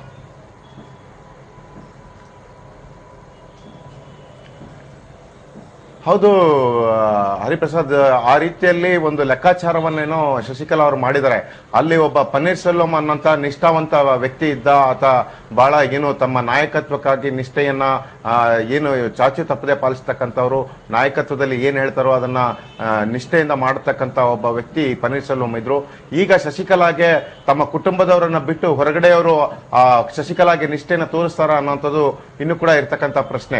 ಎಡಪಾಡಿ ಪಳನಿಸ್ವಾಮಿ ಮೊದಲಿಂದನೂ ಪಕ್ಷದಲ್ಲಿ ಅದರಲ್ಲಿ ಏನು ಜಯಲಲಿತಾ ಅವರ ಬಂದಾಗಿನಿಂದನೂ ಒಂದು ಒಳ್ಳೆ ಕೆಲಸ ಮಾಡ್ಕೊಂಡು ಬಂದಿರ್ತಕ್ಕಂಥವ್ರು ಜಯಲಲಿತಾ ಅವರಿಗೆ ನಿಷ್ಠೆಯನ್ನು ತೋರ್ಕೊಂಡು ಬಂದಂತವ್ರೆ ಆದ್ರೆ ಅವರಲ್ಲಿ ಇರ್ತಕ್ಕಂಥ ಗುಣಗಳು ಇದೆಲ್ಲವನ್ನು ಕೂಡ ಇದ್ ಮಾಡೋಂಥದ್ದು ಇನ್ನು ಕೂಡ ಅವರು ಟೆಸ್ಟಿಫೈಡ್ ಆಗಿಲ್ಲ. ಅವರು ಎಷ್ಟರ ಮಟ್ಟಿಗೆ ಇರ್ತಾರೆ ಅನ್ನೋದು ಗೊತ್ತಿಲ್ಲ. ಅದಕ್ಕೋಸ್ಕರನೇ ಈ ದಿವಾಕರನ್ನೋ ಇನ್ನೊಬ್ರು ಆ, ಏನು ದಿನಕರನ್ನೋ ಮತ್ತೆ ವೆಂಕಟೇಶನನ್ನ ಒಂದು ಚೆಕ್ ಮಾಡೋದಕ್ಕೆ ಇವರು ಇಟ್ಕೊಂಡಿರ್ತಕ್ಕಂಥದ್ದು. ಇದೆಲ್ಲದಕ್ಕಿಂತ ಪ್ರಮುಖವಾಗಿರ್ತಕ್ಕಂಥದ್ದು ತಮಿಳುನಾಡಿನಾದ್ಯಂತ ಈ ಕುಟುಂಬದ ಬಗ್ಗೆ ಏನು ಮನ್ನಾರ್ಗುಡಿ ಕುಟುಂಬದ ಬಗ್ಗೆ ಇರ್ತಕ್ಕಂಥ ಅಸಮಾಧಾನ, ಆಕ್ರೋಶ ಏನಿದೆ, ಅದನ್ನ ದೂರ ಮಾಡ್ಕೊಳ್ಬೇಕಾಗಿರ್ತಕ್ಕಂಥದ್ದು ಮೊದಲನೇ ಕೆಲಸ. ಅದನ್ನ ಎಷ್ಟರ ಮಟ್ಟಿಗೆ ಇವರು ಯಶಸ್ವಿ ಆಗ್ತಾರೆ ಅನ್ನೋದ್ರ ಮೇಲೆ ಇವರು ಪಕ್ಷದಲ್ಲಿ ಹತೋಟಿ ಸಾಧಿಸೋದು, ಪಕ್ಷವನ್ನ ಬೆಳೆಸ್ಕೊಳ್ಳೋದು ಪಕ್ಷದ ಮೂಲಕ ಇವರು ಮತ್ತೆ ಅಧಿಕಾರದಲ್ಲಿ ಕೇಂದ್ರ ಸ್ಥಾನದಲ್ಲಿ ಇರೋದಕ್ಕೆ ಪ್ರಯತ್ನ ಮಾಡೋದು ಅದರಲ್ಲಿ ಯಶಸ್ವಿ ಆಗೋದು ಅವಲಂಬಿತ ಆಗಿರುತ್ತೆ ಹರಿಪ್ರಸಾದ್. ನಿಜ ರಮೇಶ್, ಮಾತಾಡ್ತೀನಿ ನಿಮ್ ಜೊತೆಗೆ. ಹಾಗೆ ಕೃಷ್ಣ ಪ್ರಸಾದ್ ಅವರೇ ತಾವು ಯಾವ ರೀತಿಗೆ ನೋಡ್ತೀರಿ? ಯಾಕಂದ್ರೆ ಈಗ ಈ ಕುಟುಂಬದ ರಾಜಕಾರಣವನ್ನ ಎಳೆದು ತಂದಿರತಕ್ಕಂಥ ಜಯಲಲಿತಾ ಅವರ ಮೇಲೆ ಏನೇ ಆಪಾದನೆಗಳಿದ್ದಾಗಲೂ ಕೂಡ ಜಯಲಲಿತಾ ಅವರ ಕುಟುಂಬ ರಾಜಕಾರಣ ಇರಲಿಲ್ಲ. ಅಲ್ಲಿ ಅವರ ಗೆಳತಿಯ ಕಡೆಯಿಂದಲೇ ಬಂದಿರತಕ್ಕಂಥ ಶಶಿಕಲಾ ಕಡೆಯಿಂದ ಬಂದಿರತಕ್ಕಂಥ ಮನ್ನಾರ್ಗುಡಿಯ ಆ ಕುಟುಂಬ ಮಾತ್ರ ಇತ್ತು ಆದ್ರೆ ಈಗ ಆ ಮನ್ನಾರ್ಗುಡಿ ಕುಟುಂಬ ಕಂಪ್ಲೀಟ್ ಆಗಿ ಪಕ್ಷವನ್ನ ತನ್ನ ಕಂಟ್ರೋಲ್ಗೆ ತೆಗೆದುಕೊಳ್ತಾ ಇರುವಂತದ್ದು. ಇದು ಯಾವ ರೀತಿಯಾದಂಥ ರಾಜಕೀಯ? ಇದು ಎಷ್ಟರ ಮಟ್ಟಿಗೆ ಅಲ್ಲಿಯ ಜನ ಇರ್ಬೋದು, ಪಕ್ಷದ ಕಾರ್ಯಕರ್ತರ ಮೇಲೆ ಇನ್ಫ್ಲೂಯೆನ್ಸ್ ಮಾಡಬಹುದು ಇದು ಅಂತ?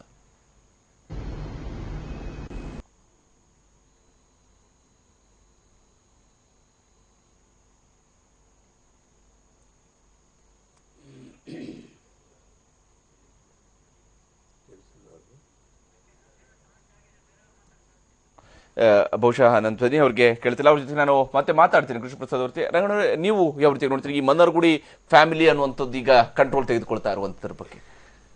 ಈ ಹಿಂದೆ ತಮಿಳುನಾಡಿನಲ್ಲಿ ಚುನಾವಣೆ ನಡೆದಾಗ ನಾನು ಮತ್ತು ನನ್ನ ಮಿತ್ರ ಆ, ಅವ್ರು ಹೋಗಿದ್ದಾಗ ಕೆಲವರು ವ್ಯಕ್ತಪಡಿಸಿದ ಮಾತು ನನಗೆ ಈಗ ನೆನಪಿಗೆ ಬರ್ತಾ ಇದೆ. ಒಬ್ಬರು ಪುರುಷೋತ್ತಮ್ ಅಂತೇಳಿ ಇಂಡಸ್ಟ್ರಿಯಲಿಸ್ಟು ಅಷ್ಟೇ ಇನ್ನೇನು ಹೇಳಲ್ಲ ಬೇರೆ ವಿವರಗಳು ಕೊಡಲ್ಲ. ಅವರೊಂದು ಮಾತಂದ್ರೆ ಅಲ್ಲಿಯವರವರು. ಅವರು ಗೌಂಡರ್ ಕಮ್ಯುನಿಟಿಯವರು ತಮಿಳುನಾಡಿನ ಜನ ನಾಯಕನನ್ನ ಮತ್ತು ನಾಯಕಿಯನ್ನ ಮೆಚ್ಚಿಕೊಳ್ಳೋ ಜನ. ಆ ನಾಯಕರು ಏನಾರು ಹೇಳಿ ನಾಯಕಿ ಅನ್ನೋದು ಏನಾರು ಹೇಳಿ ಅದಕ್ಕೆ ಸಂಪೂರ್ಣವಾಗಿ ಬದ್ಧವಾಗಿ ಅವರು ಬದುಕೋರು. ಅವರು ಶಾಸಕ ಇರ್ಬೋದು ಎಂ ಪಿ ಇರ್ಬೋದು ಮಂತ್ರಿ ಇರ್ಬೋದು ಅವರು ಉಲ್ಲಂಘನೆ ಮಾಡೋದಿಲ್ಲ ಅವರನ್ನ. ಅದು ನಮ್ಮ ತಮಿಳುನಾಡಿನ ರಾಜಕೀಯಕ್ಕೆ ಬಂದಿರುವಂಥದ್ದು ಈ ಈ ಸ್ಟೇಟ್ಮೆಂಟಿನ ಹಿನ್ನೆಲೆಯಲ್ಲಿ ಇದನ್ನು ಅನಲೈಸ್ ಮಾಡೋದಾದರೆ, ಶಶಿಕಲಾ ಅವರು ಇವತ್ತು ಮುಖ್ಯಮಂತ್ರಿ ಪೋಸ್ಟ್ ಬಯಸಿರೋದಲ್ಲ ಅವರು.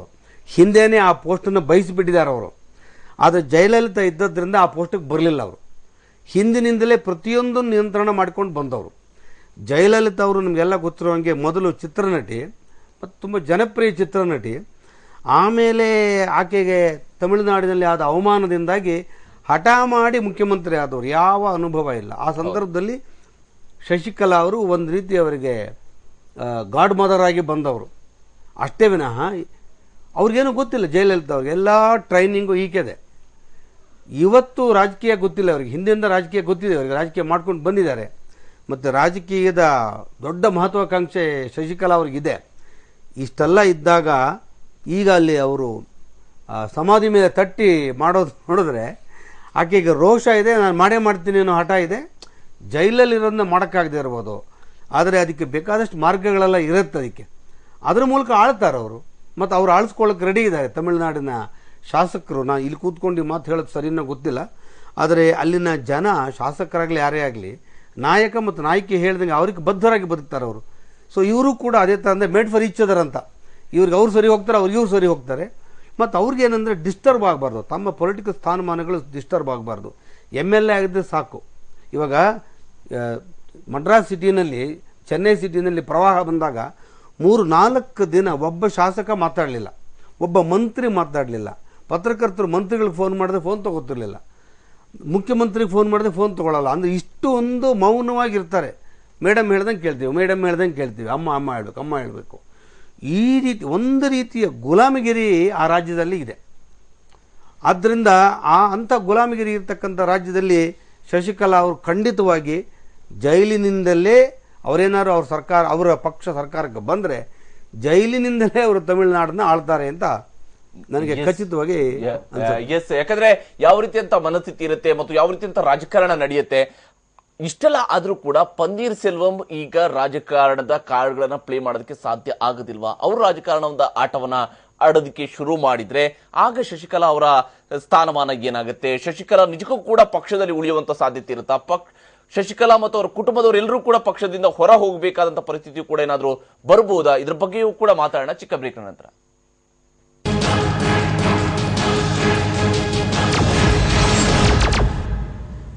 ಬ್ರೇಕ್ ನಂತರ ಮತ್ತೊಮ್ಮೆ ಸ್ವಾಗತ. ನಾವು ಚರ್ಚೆಯನ್ನ ಮುಂದುವರಿಸೋಣ. ಹಾಗೇನೆ ಅದಕ್ಕಿಂತ ಮುಂಚಿತವಾಗಿ ಇನ್ನು ಮೂರು ಅಂಶಗಳ ಕಡೆಗೆ ಗಮನ ಹರಿಸೋಣ. ಪ್ರಮುಖವಾಗಿ ಈ ಒಂದು ವಿಚಾರದಲ್ಲಿ ಶಶಿಕಲಾ ಅವರ ಅಧಿಕಾರವನ್ನ ನಡೆಸುವಂತಹ ವಿಚಾರದಲ್ಲಿ ಅಣ್ಣಾ ಡಿಎಂಕೆಗೆ ಶಶಿಕಲಾ ಸಂಬಂಧಿಕರನ್ನ ನೇಮಿಸಿದ್ದರಿಂದ ಪಕ್ಷದ ಕಟ್ಟ ಕಾರ್ಯಕರ್ತರು ತಿರುಗಿ ಬೀಳ್ತಾರಾ? ಪಕ್ಷದ ನಿಷ್ಠಾವಂತ ಕಾರ್ಯಕರ್ತರು ಇದರ ವಿರುದ್ಧ ತಿರುಗಿ ಬೀಳುವಂತ ಸಾಧ್ಯತೆ ಎಷ್ಟು ಮಟ್ಟಿಗೆ ಇದೆ ಅನ್ನುವಂಥದ್ದು. ಹಾಗೇನೆ ಈ ವಿಚಾರದಲ್ಲಿನೇ ಶಶಿಕಲಾ ಸಂಬಂಧಿಕರಿಗೆ ಪಕ್ಷದಲ್ಲಿ ಸ್ಥಾನಮಾನ ನೀಡಿದ್ರಿಂದಾಗಿ ಓ ಪನ್ನೀರ್ ಸೆಲ್ವಂಗೆ ಬೆಂಬಲ ಹೆಚ್ಚಾಗುವ ಚಾನ್ಸಸ್ ಇದೆ. ಅಂದ್ರೆ ಶಶಿಕಲಾ ಕಡೆಗಿದ್ದಂತ ಒಲವು ಕಂಪ್ಲೀಟ್ ಆಗಿ ಪನ್ನೀರ್ ಸೆಲ್ವಂ ಕಡೆಗೆ ಶಿಫ್ಟ್ ಆಗ್ಬೋದಾ? ಅಥವಾ ಶಶಿಕಲಾ ವಿರುದ್ಧ ಇರ್ತಕ್ಕಂಥ ಅಸಮಾಧಾನ ಅದು ಪನ್ನೀರ್ ಸೆಲ್ವಂಗೆ ಅನುಕೂಲ ಮಾಡಿಕೊಡುವಂತಹ ಚಾನ್ಸಸ್ ಇದೆಯಾ ಅನ್ನೋದು ಹಾಗೆ ಒಂದು ವೇಳೆ ಪನ್ನೀರ್ ಸೆಲ್ವಂ ಏನಾದರೂ ಕಂಪ್ಲೀಟ್ ಆದಂತ ಅಧಿಕಾರವನ್ನು ತೆಗೆದುಕೊಳ್ಳೋದಕ್ಕೆ ಸಾಧ್ಯ ಆದ್ರೆ ಆಗ ಎಐಡಿಎಂಕೆ ಇಂದಲೇ ಶಶಿಕಲಾ ಹಾಗೂ ಅವರ ಕುಟುಂಬವನ್ನ ಹೊರ ಹಾಕುವ ಸಾಧ್ಯತೆ ಇರುತ್ತಾ? ಮನ್ನಾರ್ಗುಡಿ ಗ್ಯಾಂಗ್ ಕಂಪ್ಲೀಟ್ ಆಗಿ ಹೊರಗಡೆ ಹೋಗುತ್ತಾ ಅನ್ನೋದು ಕೂಡ ಪ್ರಮುಖವಾಗಿರ್ತಕ್ಕಂತಹ ಪ್ರಶ್ನೆಗಳು. ಎಸ್ ನಾವು ಚರ್ಚೆನ ಮುಂದುವರಿಸೋಣ. ಕೃಷ್ಣಪ್ರಸಾದ್ ಅವರು ಮತ್ತೆ ಜಾಯ್ನ್ ಆಗಿದ್ದಾರೆ ನಮ್ಮ ಜೊತೆಗೆ. ಕೃಷ್ಣ ಪ್ರಸಾದ್ ಅವರೇ ತಾವೇನ್ ಹೇಳ್ತೀರಿ? ಈಗ ಆಗಿರ್ತಕ್ಕಂಥ ಈ ಒಂದು ಬೆಳವಣಿಗೆಯನ್ನ ಗಮನಿಸಿದ್ರೆ ಅವರ ಪಕ್ಷದಲ್ಲಿ ಕಂಟ್ರೋಲ್ ಅನ್ನು ತೆಗೆದುಕೊಳ್ಳೋದಕ್ಕೆ ಸಂಬಂಧಿಕರನ್ನ ನೇಮಿಸಿರುವಂತದ್ದನ್ನ ಗಮನಿಸಿದ್ರೆ ನಿಜಕ್ಕೂ ಆ ಒಂದು ಕುಟುಂಬದ ಕಂಟ್ರೋಲ್ ಅಲ್ಲೇ ಕಂಪ್ಲೀಟ್ ಪಕ್ಷ ಹೋದ್ರೆ ಜನ ಅದನ್ನು ಒಪ್ಕೊಳ್ಳುವ ಚಾನ್ಸಸ್ ಇರುತ್ತಾ? ಎಷ್ಟರ ಮಟ್ಟಿಗೆ ಜನರ ಮೇಲೆ ಇದು ಇನ್ಫ್ಲೂಯೆನ್ಸ್ ಆಗುತ್ತೆ?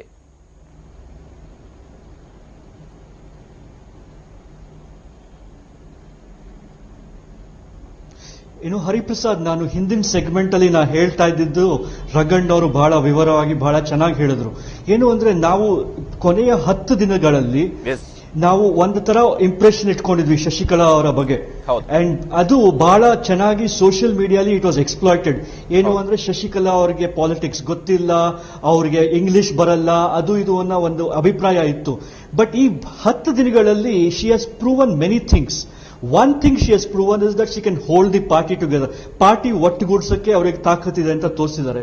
ಬಟ್ ಮೋಸ್ಟ್ ಇಂಪಾರ್ಟೆಂಟ್ಲಿ ರಂಗಣ್ಣ ಅವರು ಹೇಳಿದ ಹಾಗೆ she has been the power behind the throne ಅಂದ್ರೆ ಜಯಲಲಿತಾ ಅವರ ಹಿಂದೆ ಏನು ಪವರ್ ಇತ್ತು ಇಟ್ ವಾಸ್ ಕ್ಲಿಯರ್ಲಿ ಶಶಿಕಲಾ. ಯಾಕೆಂದ್ರೆ the manner in which the M L As have you know gravitated to her and stayed with her it shows that ಅವರು she has played a very key role in the selection of candidates, in the distribution of money, in election campaigning. ಖಂಡಿತವಾಗ್ಲೂ ಜಯಲಲಿತಾ ಮುಂದೆ ಇರ್ಬೋದು but ಅವರ ಹಿಂದೆ ಇದ್ದಿದ್ದ ಶಕ್ತಿ ಶಶಿಕಲಾ ಇದ್ದಾರೆ ಅಂತ ಬಹಳ ಕ್ಲಿಯರ್ ಆಗಿ ಗೊತ್ತಾಗ್ತಾ ಇದೆ ಈ ಹತ್ತು ದಿನಗಳಲ್ಲಿ ಒಂದು ಎರಡನೇದು ಅವರ ರಿಯಾಕ್ಷನ್ಸ್ ನೋಡಿದ್ರೆ ನೀವು ಮೊದಲನೇ ಸರಿ ಅವರು A A D M K meeting ಅಲ್ಲಿ ಅಳೋದ್ರಲ್ಲಿ ಅಥವಾ ನೆನ್, ಇವತ್ತು ಆ ನೆಲ ತಟ್ಟದ್ರಲ್ಲಿ, ಅವರ ರೋಷ ತೋರಿಸೋದ್ರಲ್ಲಿ there is a kind of a spirit and an ambition which is very obvious ಎರಡು, ಮೂರನೇದು, ಈ ಶಶಿಕಲಾ ಮತ್ತೆ ಪನ್ನೀರ್ ಸೆಲ್ವನ್ ಮಧ್ಯ ಏನು ಒಂದು ಬಿಕ್ಕಾಟ ನಡೆದಿದೆ, ಈ ಸ್ಪ್ಲಿಟ್ ಏನಾಗಿದೆ it was driven very much on social media ಅದ್ರ ಹಿಂದೆ ಸೋಷಿಯಲ್ ಮೀಡಿಯಾ ಅಲ್ಲದೆ ಬೇರೆ ಬೇರೆ ಶಕ್ತಿಗಳು ಇತ್ತು. You know ಅದನ್ನೆಲ್ಲದನ್ನು she is been able to overcome for the last ten days ನನಗೆ ಈ ಗವರ್ನರ್ ಅಸೆಂಬ್ಲಿಲಿ ಟೆಸ್ಟ್ ಕರೆದ ಮೇಲೆ ಅದು ಇರುತ್ತಾ ಅನ್ನೋ ಬಗ್ಗೆ ಒಂದು ಚಿಕ್ಕ ಡೌಟ್ ಇದೆ. ಆದರೆ ಇಲ್ಲಿವರೆಗೆ ನಡ್ಕೊಂಡಿದ್ದ ರೀತಿ ನೋಡಿದ್ರೆ she has played her cards very well ಅವರು ಒಂದು ತೇವರ್ ಸಮುದಾಯಕ್ಕೆ she belongs to the Thevar community she has played the cards well by putting up a Palaniswami who belongs to the Gounder community so ಅವರು she is been able to gauge public opinion within the M L A community much better and she is been able to keep them together so ನನ್ಗನ್ಸುತ್ತೆ she will be able to uh, she'll be able to kind of balance these forces for at least for the next three, four, five days. ಆ governor assembly test ಮುಗಿದ ಮೇಲೆ ಏನಾಗುತ್ತೆ ಅನ್ನೋದ್ರ ಬಗ್ಗೆ ಬಹಳ ದೊಡ್ಡ doubt ಇದೆ ನನಗೆ. ಬಟ್ ಖಂಡಿತವಾಗ್ಲೂ on the face of it ಇಲ್ಲಿವರೆಗೆ ಈ ಹತ್ತು ದಿನಗಳಲ್ಲಿ she has been able to checkmate not just Panneerselvam but she's been able to checkmate the bigger forces which are behind Panneerselvam ನಾವು ಅದ್ರ ಬಗ್ಗೆ ಮುಚ್ಚು ಮರೆ ಏನು ಇರಬಾರ್ದು ಇನ್ನು ಮೇಲೆ. ಯಾಕೆಂದ್ರೆ ಇದು ಬಹಳ ಕ್ಲಿಯರ್ ಆಗಿ ನೋ ಇಟ್ಸ್ ಗೆಟಿಂಗ್ ಕ್ರಿಸ್ಟಲೈಸ್ಡ್ ಈ ಗವರ್ನರ್ ಗವರ್ನರ್ ಅವರ ಆಕ್ಷನ್ಗಳೇನಿದೆ it tells you that there are big bigger forces trying to play politics in Tamil Nadu. ಅವ್ರನ್ನೆಲ್ಲರನ್ನು ಈ ಒಂದು ಮಹಿಳೆ if she's been able to checkmate for ten days it tells you that she she was the power behind the throne that she is more capable than we give her credit for and therefore we must hold our horses till this assembly test ಅದೇ ಈ ಈ family ಜೊತೆ ನಡೆಸ್ತಾರ ಏನೋ ಈ ಅವರ nephew ಜೊತೆ ನಡೆಸ್ತಾರ, ಅದೆಲ್ಲ ಮಿಕ್ಕಿದ ಕ್ವಶನ್ ಮುಂದಕ್ಕೆ ಬರುತ್ತೆ. ಬಟ್ ಇಲ್ಲಿವರೆಗೆ she has shown that she is smarter than we think S Krishna Prasad ಅವರೇ. ಆದ್ರೆ ರಮೇಶ್, ತಾವು ಯಾವ ರೀತಿಯಾಗಿ ನೋಡ್ತೀರಿ?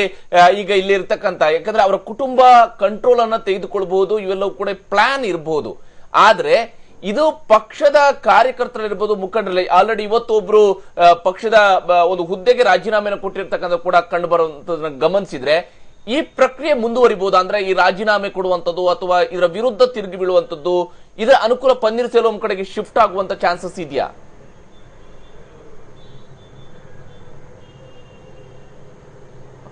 ಏನು ಶಶಿಕಲಾ ಅವರ ಮೇಲೆ ಇರ್ತಕ್ಕಂಥ ಆಕ್ರೋಶ ಜನರಲ್ಲಿ ಇನ್ನೂ ಕೂಡ ಕಡಿಮೆ ಆಗಿಲ್ಲ. ಶಶಿಕಲಾ ಅವರ ಮೇಲೆ ಅವರು ಪಕ್ಷವನ್ನ ಕಂಟ್ರೋಲ್ ಮಾಡ್ತಿದ್ರು, ಪಕ್ಷದ ಮೇಲೆ ಹಿಡಿತಾ ಇತ್ತು.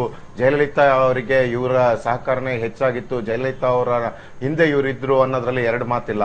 ಬಟ್ ಆದ್ರೆ ಶಶಿಕಲಾ ಅವರ ವೈಯಕ್ತಿಕವಾಗಿ ಬಂದಾಗ, ಶಶಿಕಲಾ ಮತ್ತೆ ಅವರ ಕುಟುಂಬ ವರ್ಗದ ಮೇಲಿನ ಆಕ್ರೋಶ ಇನ್ನೂ ಕೂಡ ಜನರಲ್ಲಿ ಕಡಿಮೆ ಆಗಿಲ್ಲ ಅಂತಾನೆ ಹೇಳಬೇಕಾಗತ್ತೆ. ಯಾಕಂದ್ರೆ ಏನು ಜಯಲಲಿತಾ ಅವರ ಸಾವಿನ ನಂತರದಲ್ಲಿ ಏನು, ಶಶಿಕಲಾ ಮೇಲೆ ಬಂದಂತ ಒಂದು ಪ್ರಚಾರಗಳಿರ್ಬೋದು, ಇನ್ನೊಂದಿರ್ಬೋದು, ಅದಕ್ಕೆಲ್ಲ ಅವರಿಂದ ಇನ್ನೂ ಕೂಡ ಉತ್ತರ ಬಂದಿಲ್ಲ. ಅದೇ ರೀತಿಯಲ್ಲಿ ಅವರ ಕುಟುಂಬ ವರ್ಗವನ್ನ ಯಾಕೆ ಜಯಲಲಿತಾ ಅವರು ಹೊರಗಡೆ ಇಡಬೇಕಾಯ್ತು? ಎರಡ್ ಸಾವಿರದ ಹನ್ನೊಂದರಲ್ಲಿ ಒಟ್ಟು ಕುಟುಂಬವನ್ನೇ ಹೊರಗಡೆ ಹಾಕಿದ್ರು. ಆ- ನಂತರದಲ್ಲಿ ಜಯಲಲಿತಾ ಸಾವಿನ ವರ್ಗನು ಕೂಡ ಅವರ ಕುಟುಂಬ ವರ್ಗವನ್ನ ಜಯಲಲಿತಾ ಹತ್ರನೇ ಸೇರಿಸಿರಲಿಲ್ಲ. ಇದಕ್ಕೆ ಮುಖ್ಯವಾದಂತ ಕಾರಣ ಅವರ ಕಾರ್ಯಕರ್ತರು ಮತ್ತೆ ನಾಯಕರಲ್ಲಿ ಇದ್ದಂತ ಒಂದು ಆಕ್ರೋಶ, ಶಶಿಕಲಾ ಕುಟುಂಬ ವರ್ಗದ ಮೇಲಿದ್ದಂತ ಆಕ್ರೋಶ, ಇದನ್ನು ನಾವು ಮರಿಬಾರದು. ಅದೇ ರೀತಿಯಲ್ಲಿ ಶಶಿಕಲಾ ಅವರು ಪಕ್ಷವನ್ನ ಅವರ ನಾಯಕತ್ವದಲ್ಲಿ ಇದ್ರೆ ಅವರು ಮುನ್ನಡೆಸ್ಕೊಂಡು ಹೋಗ್ತಾರೆ ಒಂದು ಒಳ್ಳೆ ನಾಯಕತ್ವವನ್ನ ಕೊಡಬಹುದು ಎಲ್ಲವೂ ಕೂಡ ಇದೆ. ಆದ್ರೆ ಆ ನಾಯಕತ್ವದ ಹಿಂದೆ ಇರ್ತಕ್ಕಂಥ ಆ ಮನ್ನಾರ್ಗುಡಿ ಫ್ಯಾಮಿಲಿಯ ಒಂದು ಪಾಲಿಟಿಕ್ಸ್ ಏನಿದೆ, ಅವರ ಒಂದು ಅವರು ಮಾಡಬಹುದಾದಂತ ಒಂದು ದೌರ್ಜನ್ಯಗಳು ಇಲ್ಲ ಗುಂಡಾಗಿರಿ ಇರ್ಬೋದು, ಅದ್ರ ಬಗ್ಗೆ ಜನ ಇರ್ತಕ್ಕಂಥದ್ದು ಆತಂಕ. ಆ ಆತಂಕ ನಿವಾರಣೆಯನ್ನ ಮಾಡಬೇಕಾಗತ್ತೆ. ಅದೇ ರೀತಿ ಪನ್ನೀರ್ ಸೆಲ್ವಂ ಬಗ್ಗೆ ಒಂದು ಒಳ್ಳೆ ಅಭಿಪ್ರಾಯನೋ ಇಲ್ಲ, ಅವ್ರನ್ನ ಲೀಡರ್ ಆಗಿ ಪ್ರೊಜೆಕ್ಟ್ ಮಾಡೋದಕ್ಕೆ ಈಗ ಶಶಿಕಲಾ ಮೇಲೆ ಇರ್ತಕ್ಕಂಥ ಒಂದು ಆತಂಕ, ಒಂದು ಅವ್ರ ಮೇಲೆ ಇರ್ತಕ್ಕಂಥ ಆಕ್ರೋಶಗಳೇ ಪನ್ನೀರ್ ಸೆಲ್ವಂ ಅನ್ನ ಈಗ ದೊಡ್ಡ ಲೀಡರ್ ಆಗಿ ಮಾಡ್ತಾ ಇದೆ ಅಂತಾನೆ ನನ್ಗೆ ಅನ್ಸುತ್ತೆ. ಆದ್ರೆ ರಮೇಶ್, ನಾನು ಕೇಳ್ತಿರುವಂತದ್ದು ಇಲ್ಲಿ ಈಗ ಶಶಿಕಲಾ ನೇಮಕ ಮಾಡಿರ್ತಕ್ಕಂಥ, ತನ್ನ ಕುಟುಂಬದವರು ನೇಮಕ ಮಾಡಿರುವಂತದ್ದು ಇದಕ್ಕೆ ಪಕ್ಷದಲ್ಲಿ, ಅಣ್ಣಾ ಡಿಎಂಕೆ ಪಕ್ಷದಲ್ಲಿ ಆಕ್ರೋಶ ವ್ಯಕ್ತ ಆಗ್ತಾ ಇರುವಂತದ್ದು ಈಗಾಗಲೇ ಒಬ್ರು ರಾಜೀನಾಮೆಯನ್ನು ಕೂಡ ಕೊಟ್ಟಿರ್ತಕ್ಕಂಥ, ಅದು ಆ, ಮ- ಆ ಪನ್ನೀರ್ ಸೆಲ್ವಂಗೆ ಮತ್ತಷ್ಟು ಅನುಕೂಲ ಆಗಬಹುದಾ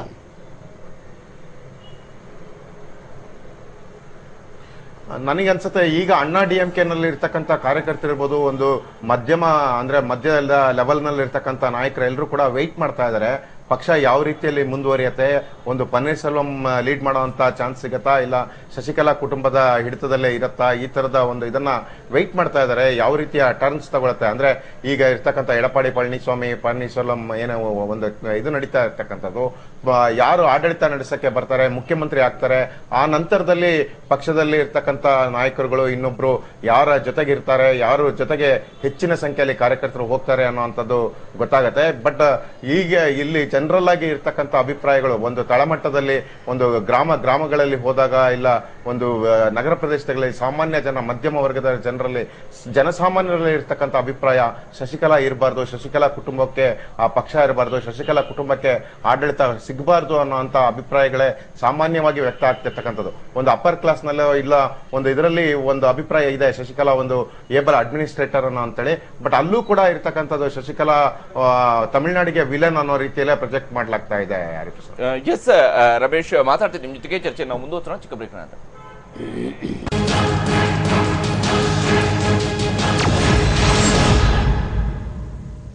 ರಂಗನಂತರ ಮತ್ತೊಮ್ಮೆ ಸ್ವಾಗತ. ನಾವು ಚರ್ಚೆಯನ್ನ ಮುಂದುವರ್ಸೋಣ. ಇಲ್ಲಿ ರಂಗಣ್ಣವ್ರೆ ಈಗ ಇರತಕ್ಕಂತ ಸ್ಥಿತಿಯ ಒಳಗಡೆ ಪಳನಿಸ್ವಾಮಿಯ ಕಡೆಗೆ ನೂರ ಇಪ್ಪತ್ತೈದು ಜನ ಶಾಸಕರ ಬೆಂಬಲ ಇದೆ ಅನ್ನುವಂಥದ್ದು ಇವೆಲ್ಲೂ ಕೂಡ ಎಸ್ಟಾಬ್ಲಿಷ್ ಆಗುತ್ತೆ. ಅದರ ನಂತರ ಯಾಕಂದ್ರೆ ಎಲ್ಲರೂ ಕೂಡ ರೆಸಾರ್ಟ್ನಲ್ಲಿ ಇದ್ದಾರೆ ಅವರು ನಾಳೆ ದಿನ ಕೂಡ ಬಂದು ವೋಟ್ ಹಾಕಲೇಬೇಕಾಗುತ್ತೆ. ಯಾಕಂದ್ರೆ ಇವರು ವಿಪ್ ಕೊಟ್ಟಿರ್ತಾರೆ ಅದರ ಉಲ್ಲಂಘನೆ ಮಾಡಕ್ಕೆ ಆಗೋದಿಲ್ಲ. ಅವೆಲ್ಲೂ ಕೂಡ ಕ್ಲಿಯರ್ ಆಗ್ಬಹುದು ಆದ್ರೆ ಒಂದು ವಾರದ ನಂತರ ಏನಾಗಬಹುದು? ಪಳನಿಸ್ವಾಮಿ ಸಿಎಂ ಆದ ನಂತರವೂ ಕೂಡ ಈ ಪ್ರೂವ್ ಎಲ್ಲ ಆದ ನಂತರ ಒಂದು ವಾರದ ನಂತರ ಏನು ಶುರು ಆಗಬಹುದು ಅಂತ? ರಾಜಕಾರಣದಲ್ಲಿ ಅಷ್ಟು ಈಸಿ ಆಗುತ್ತೆ ಇವೆಲ್ಲ ಮೇಂಟೈನ್ ಮಾಡ್ಕೊಂಡು ಹೋಗೋದು ದೂರದಲ್ಲಿ ಯಾರೋ ಕೂತ್ಕೊಂಡು ರಿಮೋಟ್ ಕಂಟ್ರೋಲ್ ಮಾಡುವಂಥದ್ದು. ಪಳನಿಸ್ವಾಮಿಗೆ ಸರ್ಕಾರ ರಚನೆ ಮಾಡಿ ಅಂತ ರಾಜ್ಯಪಾಲ ಅವರು ಆಹ್ವಾನ ಮಾಡಿ ಅವರು ಮುಖ್ಯಮಂತ್ರಿ ಆದರೆ ಅಲ್ಲಿಂದಾನೇ ಶುರುವಾಗುತ್ತೆ ಸಮಸ್ಯೆಗಳೆಲ್ಲನೂ. ಯಾರನ್ನು ಮಂತ್ರಿ ಮಾಡಬೇಕು? ಆ ಮಂತ್ರಿ ಯಾರ್ಯಾರು ಆಗಬೇಕು ಅನ್ನೋದನ್ನು ಅವ್ರನ್ನ ಅಪ್ರೂವ್ ಮಾಡೋರು ಯಾರು? ಪಳನಿಸ್ವಾಮಿ ಒಬ್ಬ ಕೈಗೊಂಬೆ. ಎಲ್ಲಿಗೆ ಬರಬೇಕು? ಇಲ್ಲಿಗೆ ಬರಬೇಕು, ಬೆಂಗಳೂರಿಗೆ. ಬರೋರು ಯಾರು? ಇದೇ ದಿನಕರನು ವೆಂಕಟೇಶು ಇತ್ಯಾದಿ ಇತ್ಯಾದಿ. ನಟರಾಜನ್. ಆ, ಆ- ಆ ಪಟ್ಟಿ ತೆಗೆದುಕೊಂಡು ಮಾಡ್ತಿದ್ದಂಗೆ ಶಶಿಕಲಾ ಅವರು ಯಾವ ಶಾಸಕರೂ ನಮ್ಮ ಪಾರ್ಟಿ ಬಿಟ್ಟು ಹೋಗಬಾರ್ದು. ಪಳನಿ ಪನ್ನೀರ್ಸೆಲ್ವಂ ಕಡೆ ಅನ್ನುವ ಅದನ್ನು ಮನಸ್ಸಲ್ಲಿಟ್ಟುಕೊಂಡು ಮಾಡ್ತಾರಾ? ಈ ಟೈಮಲ್ಲಿ ಯಾರ್ಯಾರು ನಮಗೆ ಒಳ್ಳೊಳಗೆ ಆಟ ಆಡಿ ನಮ್ಗೆ ತೊಂದರೆ ಕೊಟ್ಟಿದ್ದಾರೆ ನೋಡ್ಕೊಂಡು ಮಾಡ್ತಾರಾ? ಇವೆಲ್ಲವನ್ನು ಅನುಸರಿಸ, ಅದು ಡಿಪೆಂಡ್ ಆಗಿದೆ. ಒಂದು ವಾರ ಆಗ್ತಾ ಇದ್ದಂಗೆ ಮಂತ್ರಿಗಳು ಯಾರು ಅಂತ ಅನೌನ್ಸ್ಮೆಂಟ್ ಮಾಡಿ ಮಂತ್ರಿಗಳು ಆದ ಮೇಲೆ ಅಲ್ಲಿಂದ ಗುಸು ಗುಸು ಒಳೊಳಗೆ ಜಗಳಗಳು, ಕದನಗಳು ಶುರುವಾಗುತ್ತೆ. ಬಟ್, ಅಧಿಕಾರ ಸಿಕ್ಕಿರುತ್ತಲ್ಲ, ಆ, ಮತ್ತೆ ಮುಖ್ಯಮಂತ್ರಿಯಾಗಿ ಅವರು ಪಳನಿಸ್ವಾಮಿ ಬಂದಿರ್ತಾರೆ. ಪಾರ್ಟಿ ಮೇಲೆ ಶಶಿಕಲಾ ಅವರಿಗೆ ನಿಯಂತ್ರಣ ಬಂದಿರುತ್ತೆ. ಸರ್ಕಾರ ಬಂದ ಮೇಲೆ ನಿಯಂತ್ರಣ ಬರುತ್ತದು. ಆ ನಿ, ಬಂದ ನಿಯಂತ್ರಣವನ್ನು ಇವರು ಹೇಗೆ ಬಳಸ್ತಾರೆ, ಅದನ್ನು ಸಮಾಧಾನಕರವಾಗಿ ಎಲ್ರಿಗೂ ಸಮಾಧಾನ ಆಗುವಂಗೆ ಬಳಸ್ತಾರಾ. ಆಮೇಲೆ ಸರ್ಕಾರ ಬರ್ತಿದ್ದಂಗೆ ಅವರು ಮಾಡಬೇಕಾದ ಕೆಲಸಗಳೇನು ಅಂತಂದರೆ ಮಾಡ್ತಾರೆ ಬಹುತೇಕ ಅದನ್ನು. ಜಯಲಲಿತಾ ಅವರ ಕಾರ್ಯಕ್ರಮಗಳನ್ನು ಪುನರ್, ಪುನರುಚ್ಚಾರ ಮಾಡೋದು. ಜನಪ್ರಿಯ ಕಾರ್ಯಕ್ರಮಗಳು ಇತ್ಯಾದಿಗಳೆಲ್ಲ. ಸಭೆಗಳು ಮಾಡಬೇಕು, ಇವೆಲ್ಲ ಮಾಡಬೇಕು. ಮಾಡ್ತಾರಾ ಎಲ್ಲ ಬೇಕಾದಷ್ಟು ಕಾರ್ಯಕ್ರಮಗಳಿವೆ. ಅದರ ಮೇಲೆ ಇವರು ನಿಯಂತ್ರಣ ಸಾಧಿಸ್ತಾರಾ, ಸಾಧಿಸೋದಿಲ್ವಾ? ಆಮೇಲೆ ಅಸಮಾಧಾನಗೊಂಡಂಥ ಶಾಸಕರನ್ನು ಪನ್ನೀರ್ ಸೆಲ್ವಂ ಅವರು ಎಳೆಯೋದಕ್ಕೆ ಅಂದರೆ ಪ್ರಯತ್ನ ಮಾಡ್ತಾರೆ ಹೊರಗಡೆ. ಕಾರಣ ಏನಂದರೆ, ಇದು ಸದ್ಯಕ್ಕೆ ನೋಡ್ತಾ ಇರೋ ರೀತಿ. ಕೇಂದ್ರ ಸರ್ಕಾರದ ಮೂವರು ಮಂತ್ರಿಗಳು ಟ್ವೀಟ್ ಮಾಡಿ, ಮೆಸೇಜ್ ಕಳಿಸಿ ರಾಜ್ಯಪಾಲರಿಗೆ ನೀವು ಹೀಗೀಗೆ ಮಾಡಬೇಕು ಅಂತ ಇಂದ ಇಂಡೈರೆಕ್ಟ್ ಆದೇಶಗಳದು. ಅದರಲ್ಲಿ ಕೇಂದ್ರ ಲಾಮ ಅದು ಕಾನೂನು ಮಂತ್ರಿಗಳು ಇದ್ದಾರೆ. ಅದು ಇಂಡೈರೆಕ್ಟಾಗಿ ಅವ್ರಿಗೆ ಆದೇಶ ಕೊಟ್ಟಂಗೆ, ಮಾರ್ಗದರ್ಶನ ಮಾಡ್ದಂಗೆ, ಹಿಂಗೆ ಮಾಡಿ ಹಿಂಗೆ ಮಾಡಿ ಅಂತೇಳಿ ಆಮೇಲೂ ಕೂಡ ಅವರು ಮುಂದುವರಿಸ್ತಾರೆ. ಯಾಕೆಂದರೆ ತಮಿಳುನಾಡು ಇವಾಗ ರಾಜಕೀಯ ಅಲ್ಲಿ ದುರ್ಬಲಗೊಂಡಿರ್ತಿರ್ಬೇಕಾದ್ರೆ ಸಹಜವಾಗಿ ಇವರು ಅಲ್ಲಿ ತಮ್ಮ ಬೇಳೆ ಬೇಯಿಸ್ಕೊಳ್ಳೋಕ್ಕೆ ಪ್ರಯತ್ನ ಮಾಡೇ ಮಾಡ್ತಾರೆ. ಇದೆಲ್ಲ ಡಿಪೆಂಡ್ ಆಗುತ್ತೆ. ಮತ್ತೆ ಶಶಿಕಲಾ ಅವರ ಮೇಲೆ ಜಾಸ್ತಿ ಡಿಪೆಂಡ್ ಆಗುತ್ತೆ. ಇವರು ಹಿಂದಿನ ಇಪ್ಪತ್ತು ವರ್ಷಗಳಲ್ಲಿ ಹಠಮಾರಿತನದ ಧೋರಣೆ ತನಗೆ ಬೇಕಾಗದೇ ಇರೋ ಮಂತ್ರಿಗಳನ್ನು ಕಿತ್ತಾಕೋದು. ಆವಾಗಲೇ ಜಯಲಲಿತಾ ಅವರು ಜಯಲಲಿತಾ ಅವರಿದ್ದಾಗಲೇ ಬೇಕಾದೇ ಇರೋ ಮಂತ್ರ ಕಿತ್ತಾಕೋದು.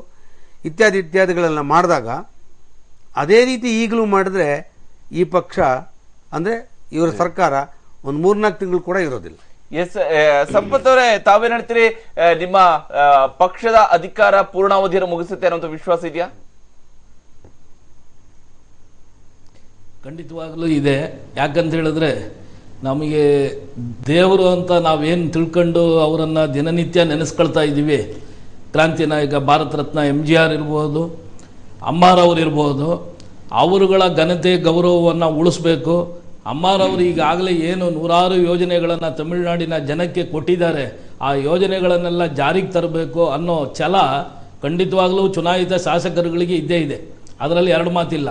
ಅದು ಪನ್ನೀರ್ ಸೆಲ್ವಂ ಬಣ ಇರ್ಬೋದು, ನಮ್ಮ ಬಣ ಇರ್ಬೋದು. ಆದರೆ ಈ ಯೋಜನೆಗಳನ್ನು ಜಾರಿಗೆ ತರಬೇಕಾದ್ರೆ ಈಗಾಗಲೇ ನಮ್ಮ ಸ್ನೇಹಿತರು ಹೇಳ್ದಂಗೆ ರಿಮೋಟ್ ಕಂಟ್ರೋಲ್ ಬೇರೆ ಕಡೆಯಿಂದ ರಿಮೋಟ್ ಆಗ್ತಾ ಇದೆ ಕೆಲವರ ಮೇಲೆ. ಆ ಪರಿಸ್ಥಿತಿ ನಿಲ್ಲಬೇಕು ಅಥವಾ ಅದು ಏನೇ ಕಂಟ್ರೋಲ್ ಮಾಡಿದ್ರು ನಮ್ಮ ತನವನ್ನು ಉಳಿಸ್ಕೊಳ್ಳೋಕ್ಕೆ ನಮ್ಮ ಪಕ್ಷದ ಘನತೆ ಗೌರವವನ್ನು ಕಾಪಾಡೋದಕ್ಕೆ ನಾವು ಪಕ್ಷಕ್ಕೆ ವಿಧೇಯರಾಗಿರಬೇಕು. ಇಲ್ಲಿ ವ್ಯಕ್ತಿ ಪೂಜೆಗಿಂತ, ಯಾಕಂದರೆ ವ್ಯಕ್ತಿ ಪೂಜೆ ಅವರಿಬ್ಬರಿಗೆ ಸೀಮಿತ. ಎಂ ಜಿ ಆರು ಮತ್ತು ಜಯಲಲಿತಾರವರಿಗೆ ಮಾತ್ರ. ಆದರೆ ಈಗ ನಮ್ಮ ಪಕ್ಷ, ಯಾಕಂತ ಹೇಳಿದ್ರೆ ಎಂ ಜಿ ಆರ್ ಅವರು ಬಲವಾದ ಒಂದು ಫೌಂಡೇಶನ್ ಹಾಕಿದ್ದಾರೆ ಪಕ್ಷಕ್ಕೆ. ಬಲವಾದ ಕಟ್ಟಡವನ್ನ ಅಮ್ಮಾರವರು ಬೆಳೆಸ್ಕೊಳ್ಳೋದು ಅಷ್ಟೇ. ಎಸ್.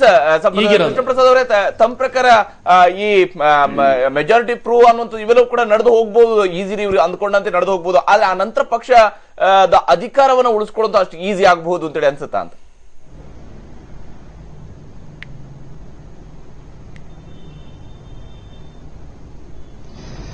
ಅಧಿಕಾರ ಉಳಿಸ್ಕೋತಾರೋ ಇಲ್ವೋ ಅದು ಬೇರೆ ವಿಷಯ. ಬಟ್ ಪ್ರೈಮರಿ ಇಶ್ಯೂ ಏನು ಅಂದ್ರೆ ನನ್ಗನ್ಸುತ್ತೆ Tamil Nadu politics has change completely for for for for for a while ಅಂದ್ರೆ ಇಲ್ಲಿಂದ ಹೋಗ್ತಾ ಮುಂದಕ್ಕೆ they'll be enormous crisis within the Anna D M K party they'll be a lot of you know fussiness within Tamil Nadu politics ಖಂಡಿತವಾಗ್ಲೂ ಪನ್ನೀರ್ ಸೆಲ್ವಂ ಅವರ faction ಏನಿದೆ ಅವರು they will try and inch closer and closer towards the DMK the DMK will try to get into the act I think the centre itself will try to put its hand into the Tamil Nadu pie so ನಾನಾ ಕಾರಣಗಳಿಂದ ನಾನಾ ಕಡೆಗಳಿಂದ Tamil Nadu is gone to face pressure simply because Sampath Kumar ಅವ್ರು ಹೇಳಿದಾಗೆ ಇದು M G R ಅಲ್ಲ ಇವರು ಜಯಲಲಿತಾ ಅಲ್ಲ ಇವರು ಕರುಣಾನಿಧಿ ಅಲ್ಲ ಈಗಿರೋ India Mukhyamantri, he's a clearly a puppet of Shashikala. So therefore there will be a number of competing forces you know, within the AIDMK and outside the AIDMK, and including the central government,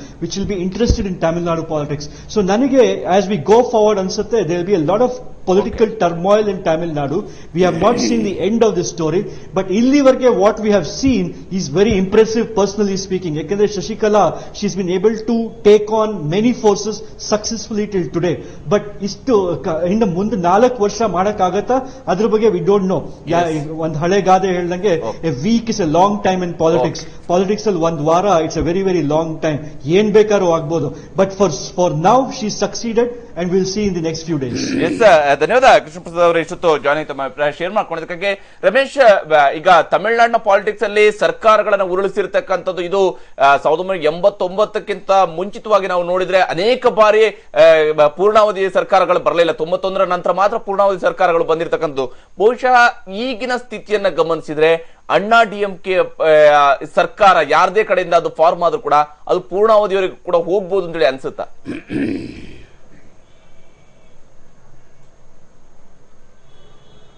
ಹೋಗ್ಬೋದು. ಇದೆಲ್ಲದೂ ಕೂಡ ಏನು ಈಗ ಉಂಟಾಗಿರ್ತಕ್ಕಂಥ ಒಂದು turmoil ಇದೆ. ಇದೊಂದು temporary ಅಂತಾನೆ ನನಗೆ ಅನ್ಸುತ್ತೆ. ಒಂದ್ ಕಡೆ ಒಂದು ಸರ್ಕಾರ ಏನಾದ್ರೆ ರಚನೆ ಆದ್ರೆ ಆ ನಂತರದಲ್ಲಿ ಎಲ್ಲರೂ ಕೂಡ ಒಂದ್ ಕಡೆ ಪೂಲ್ ಆಗ್ತಾರೆ.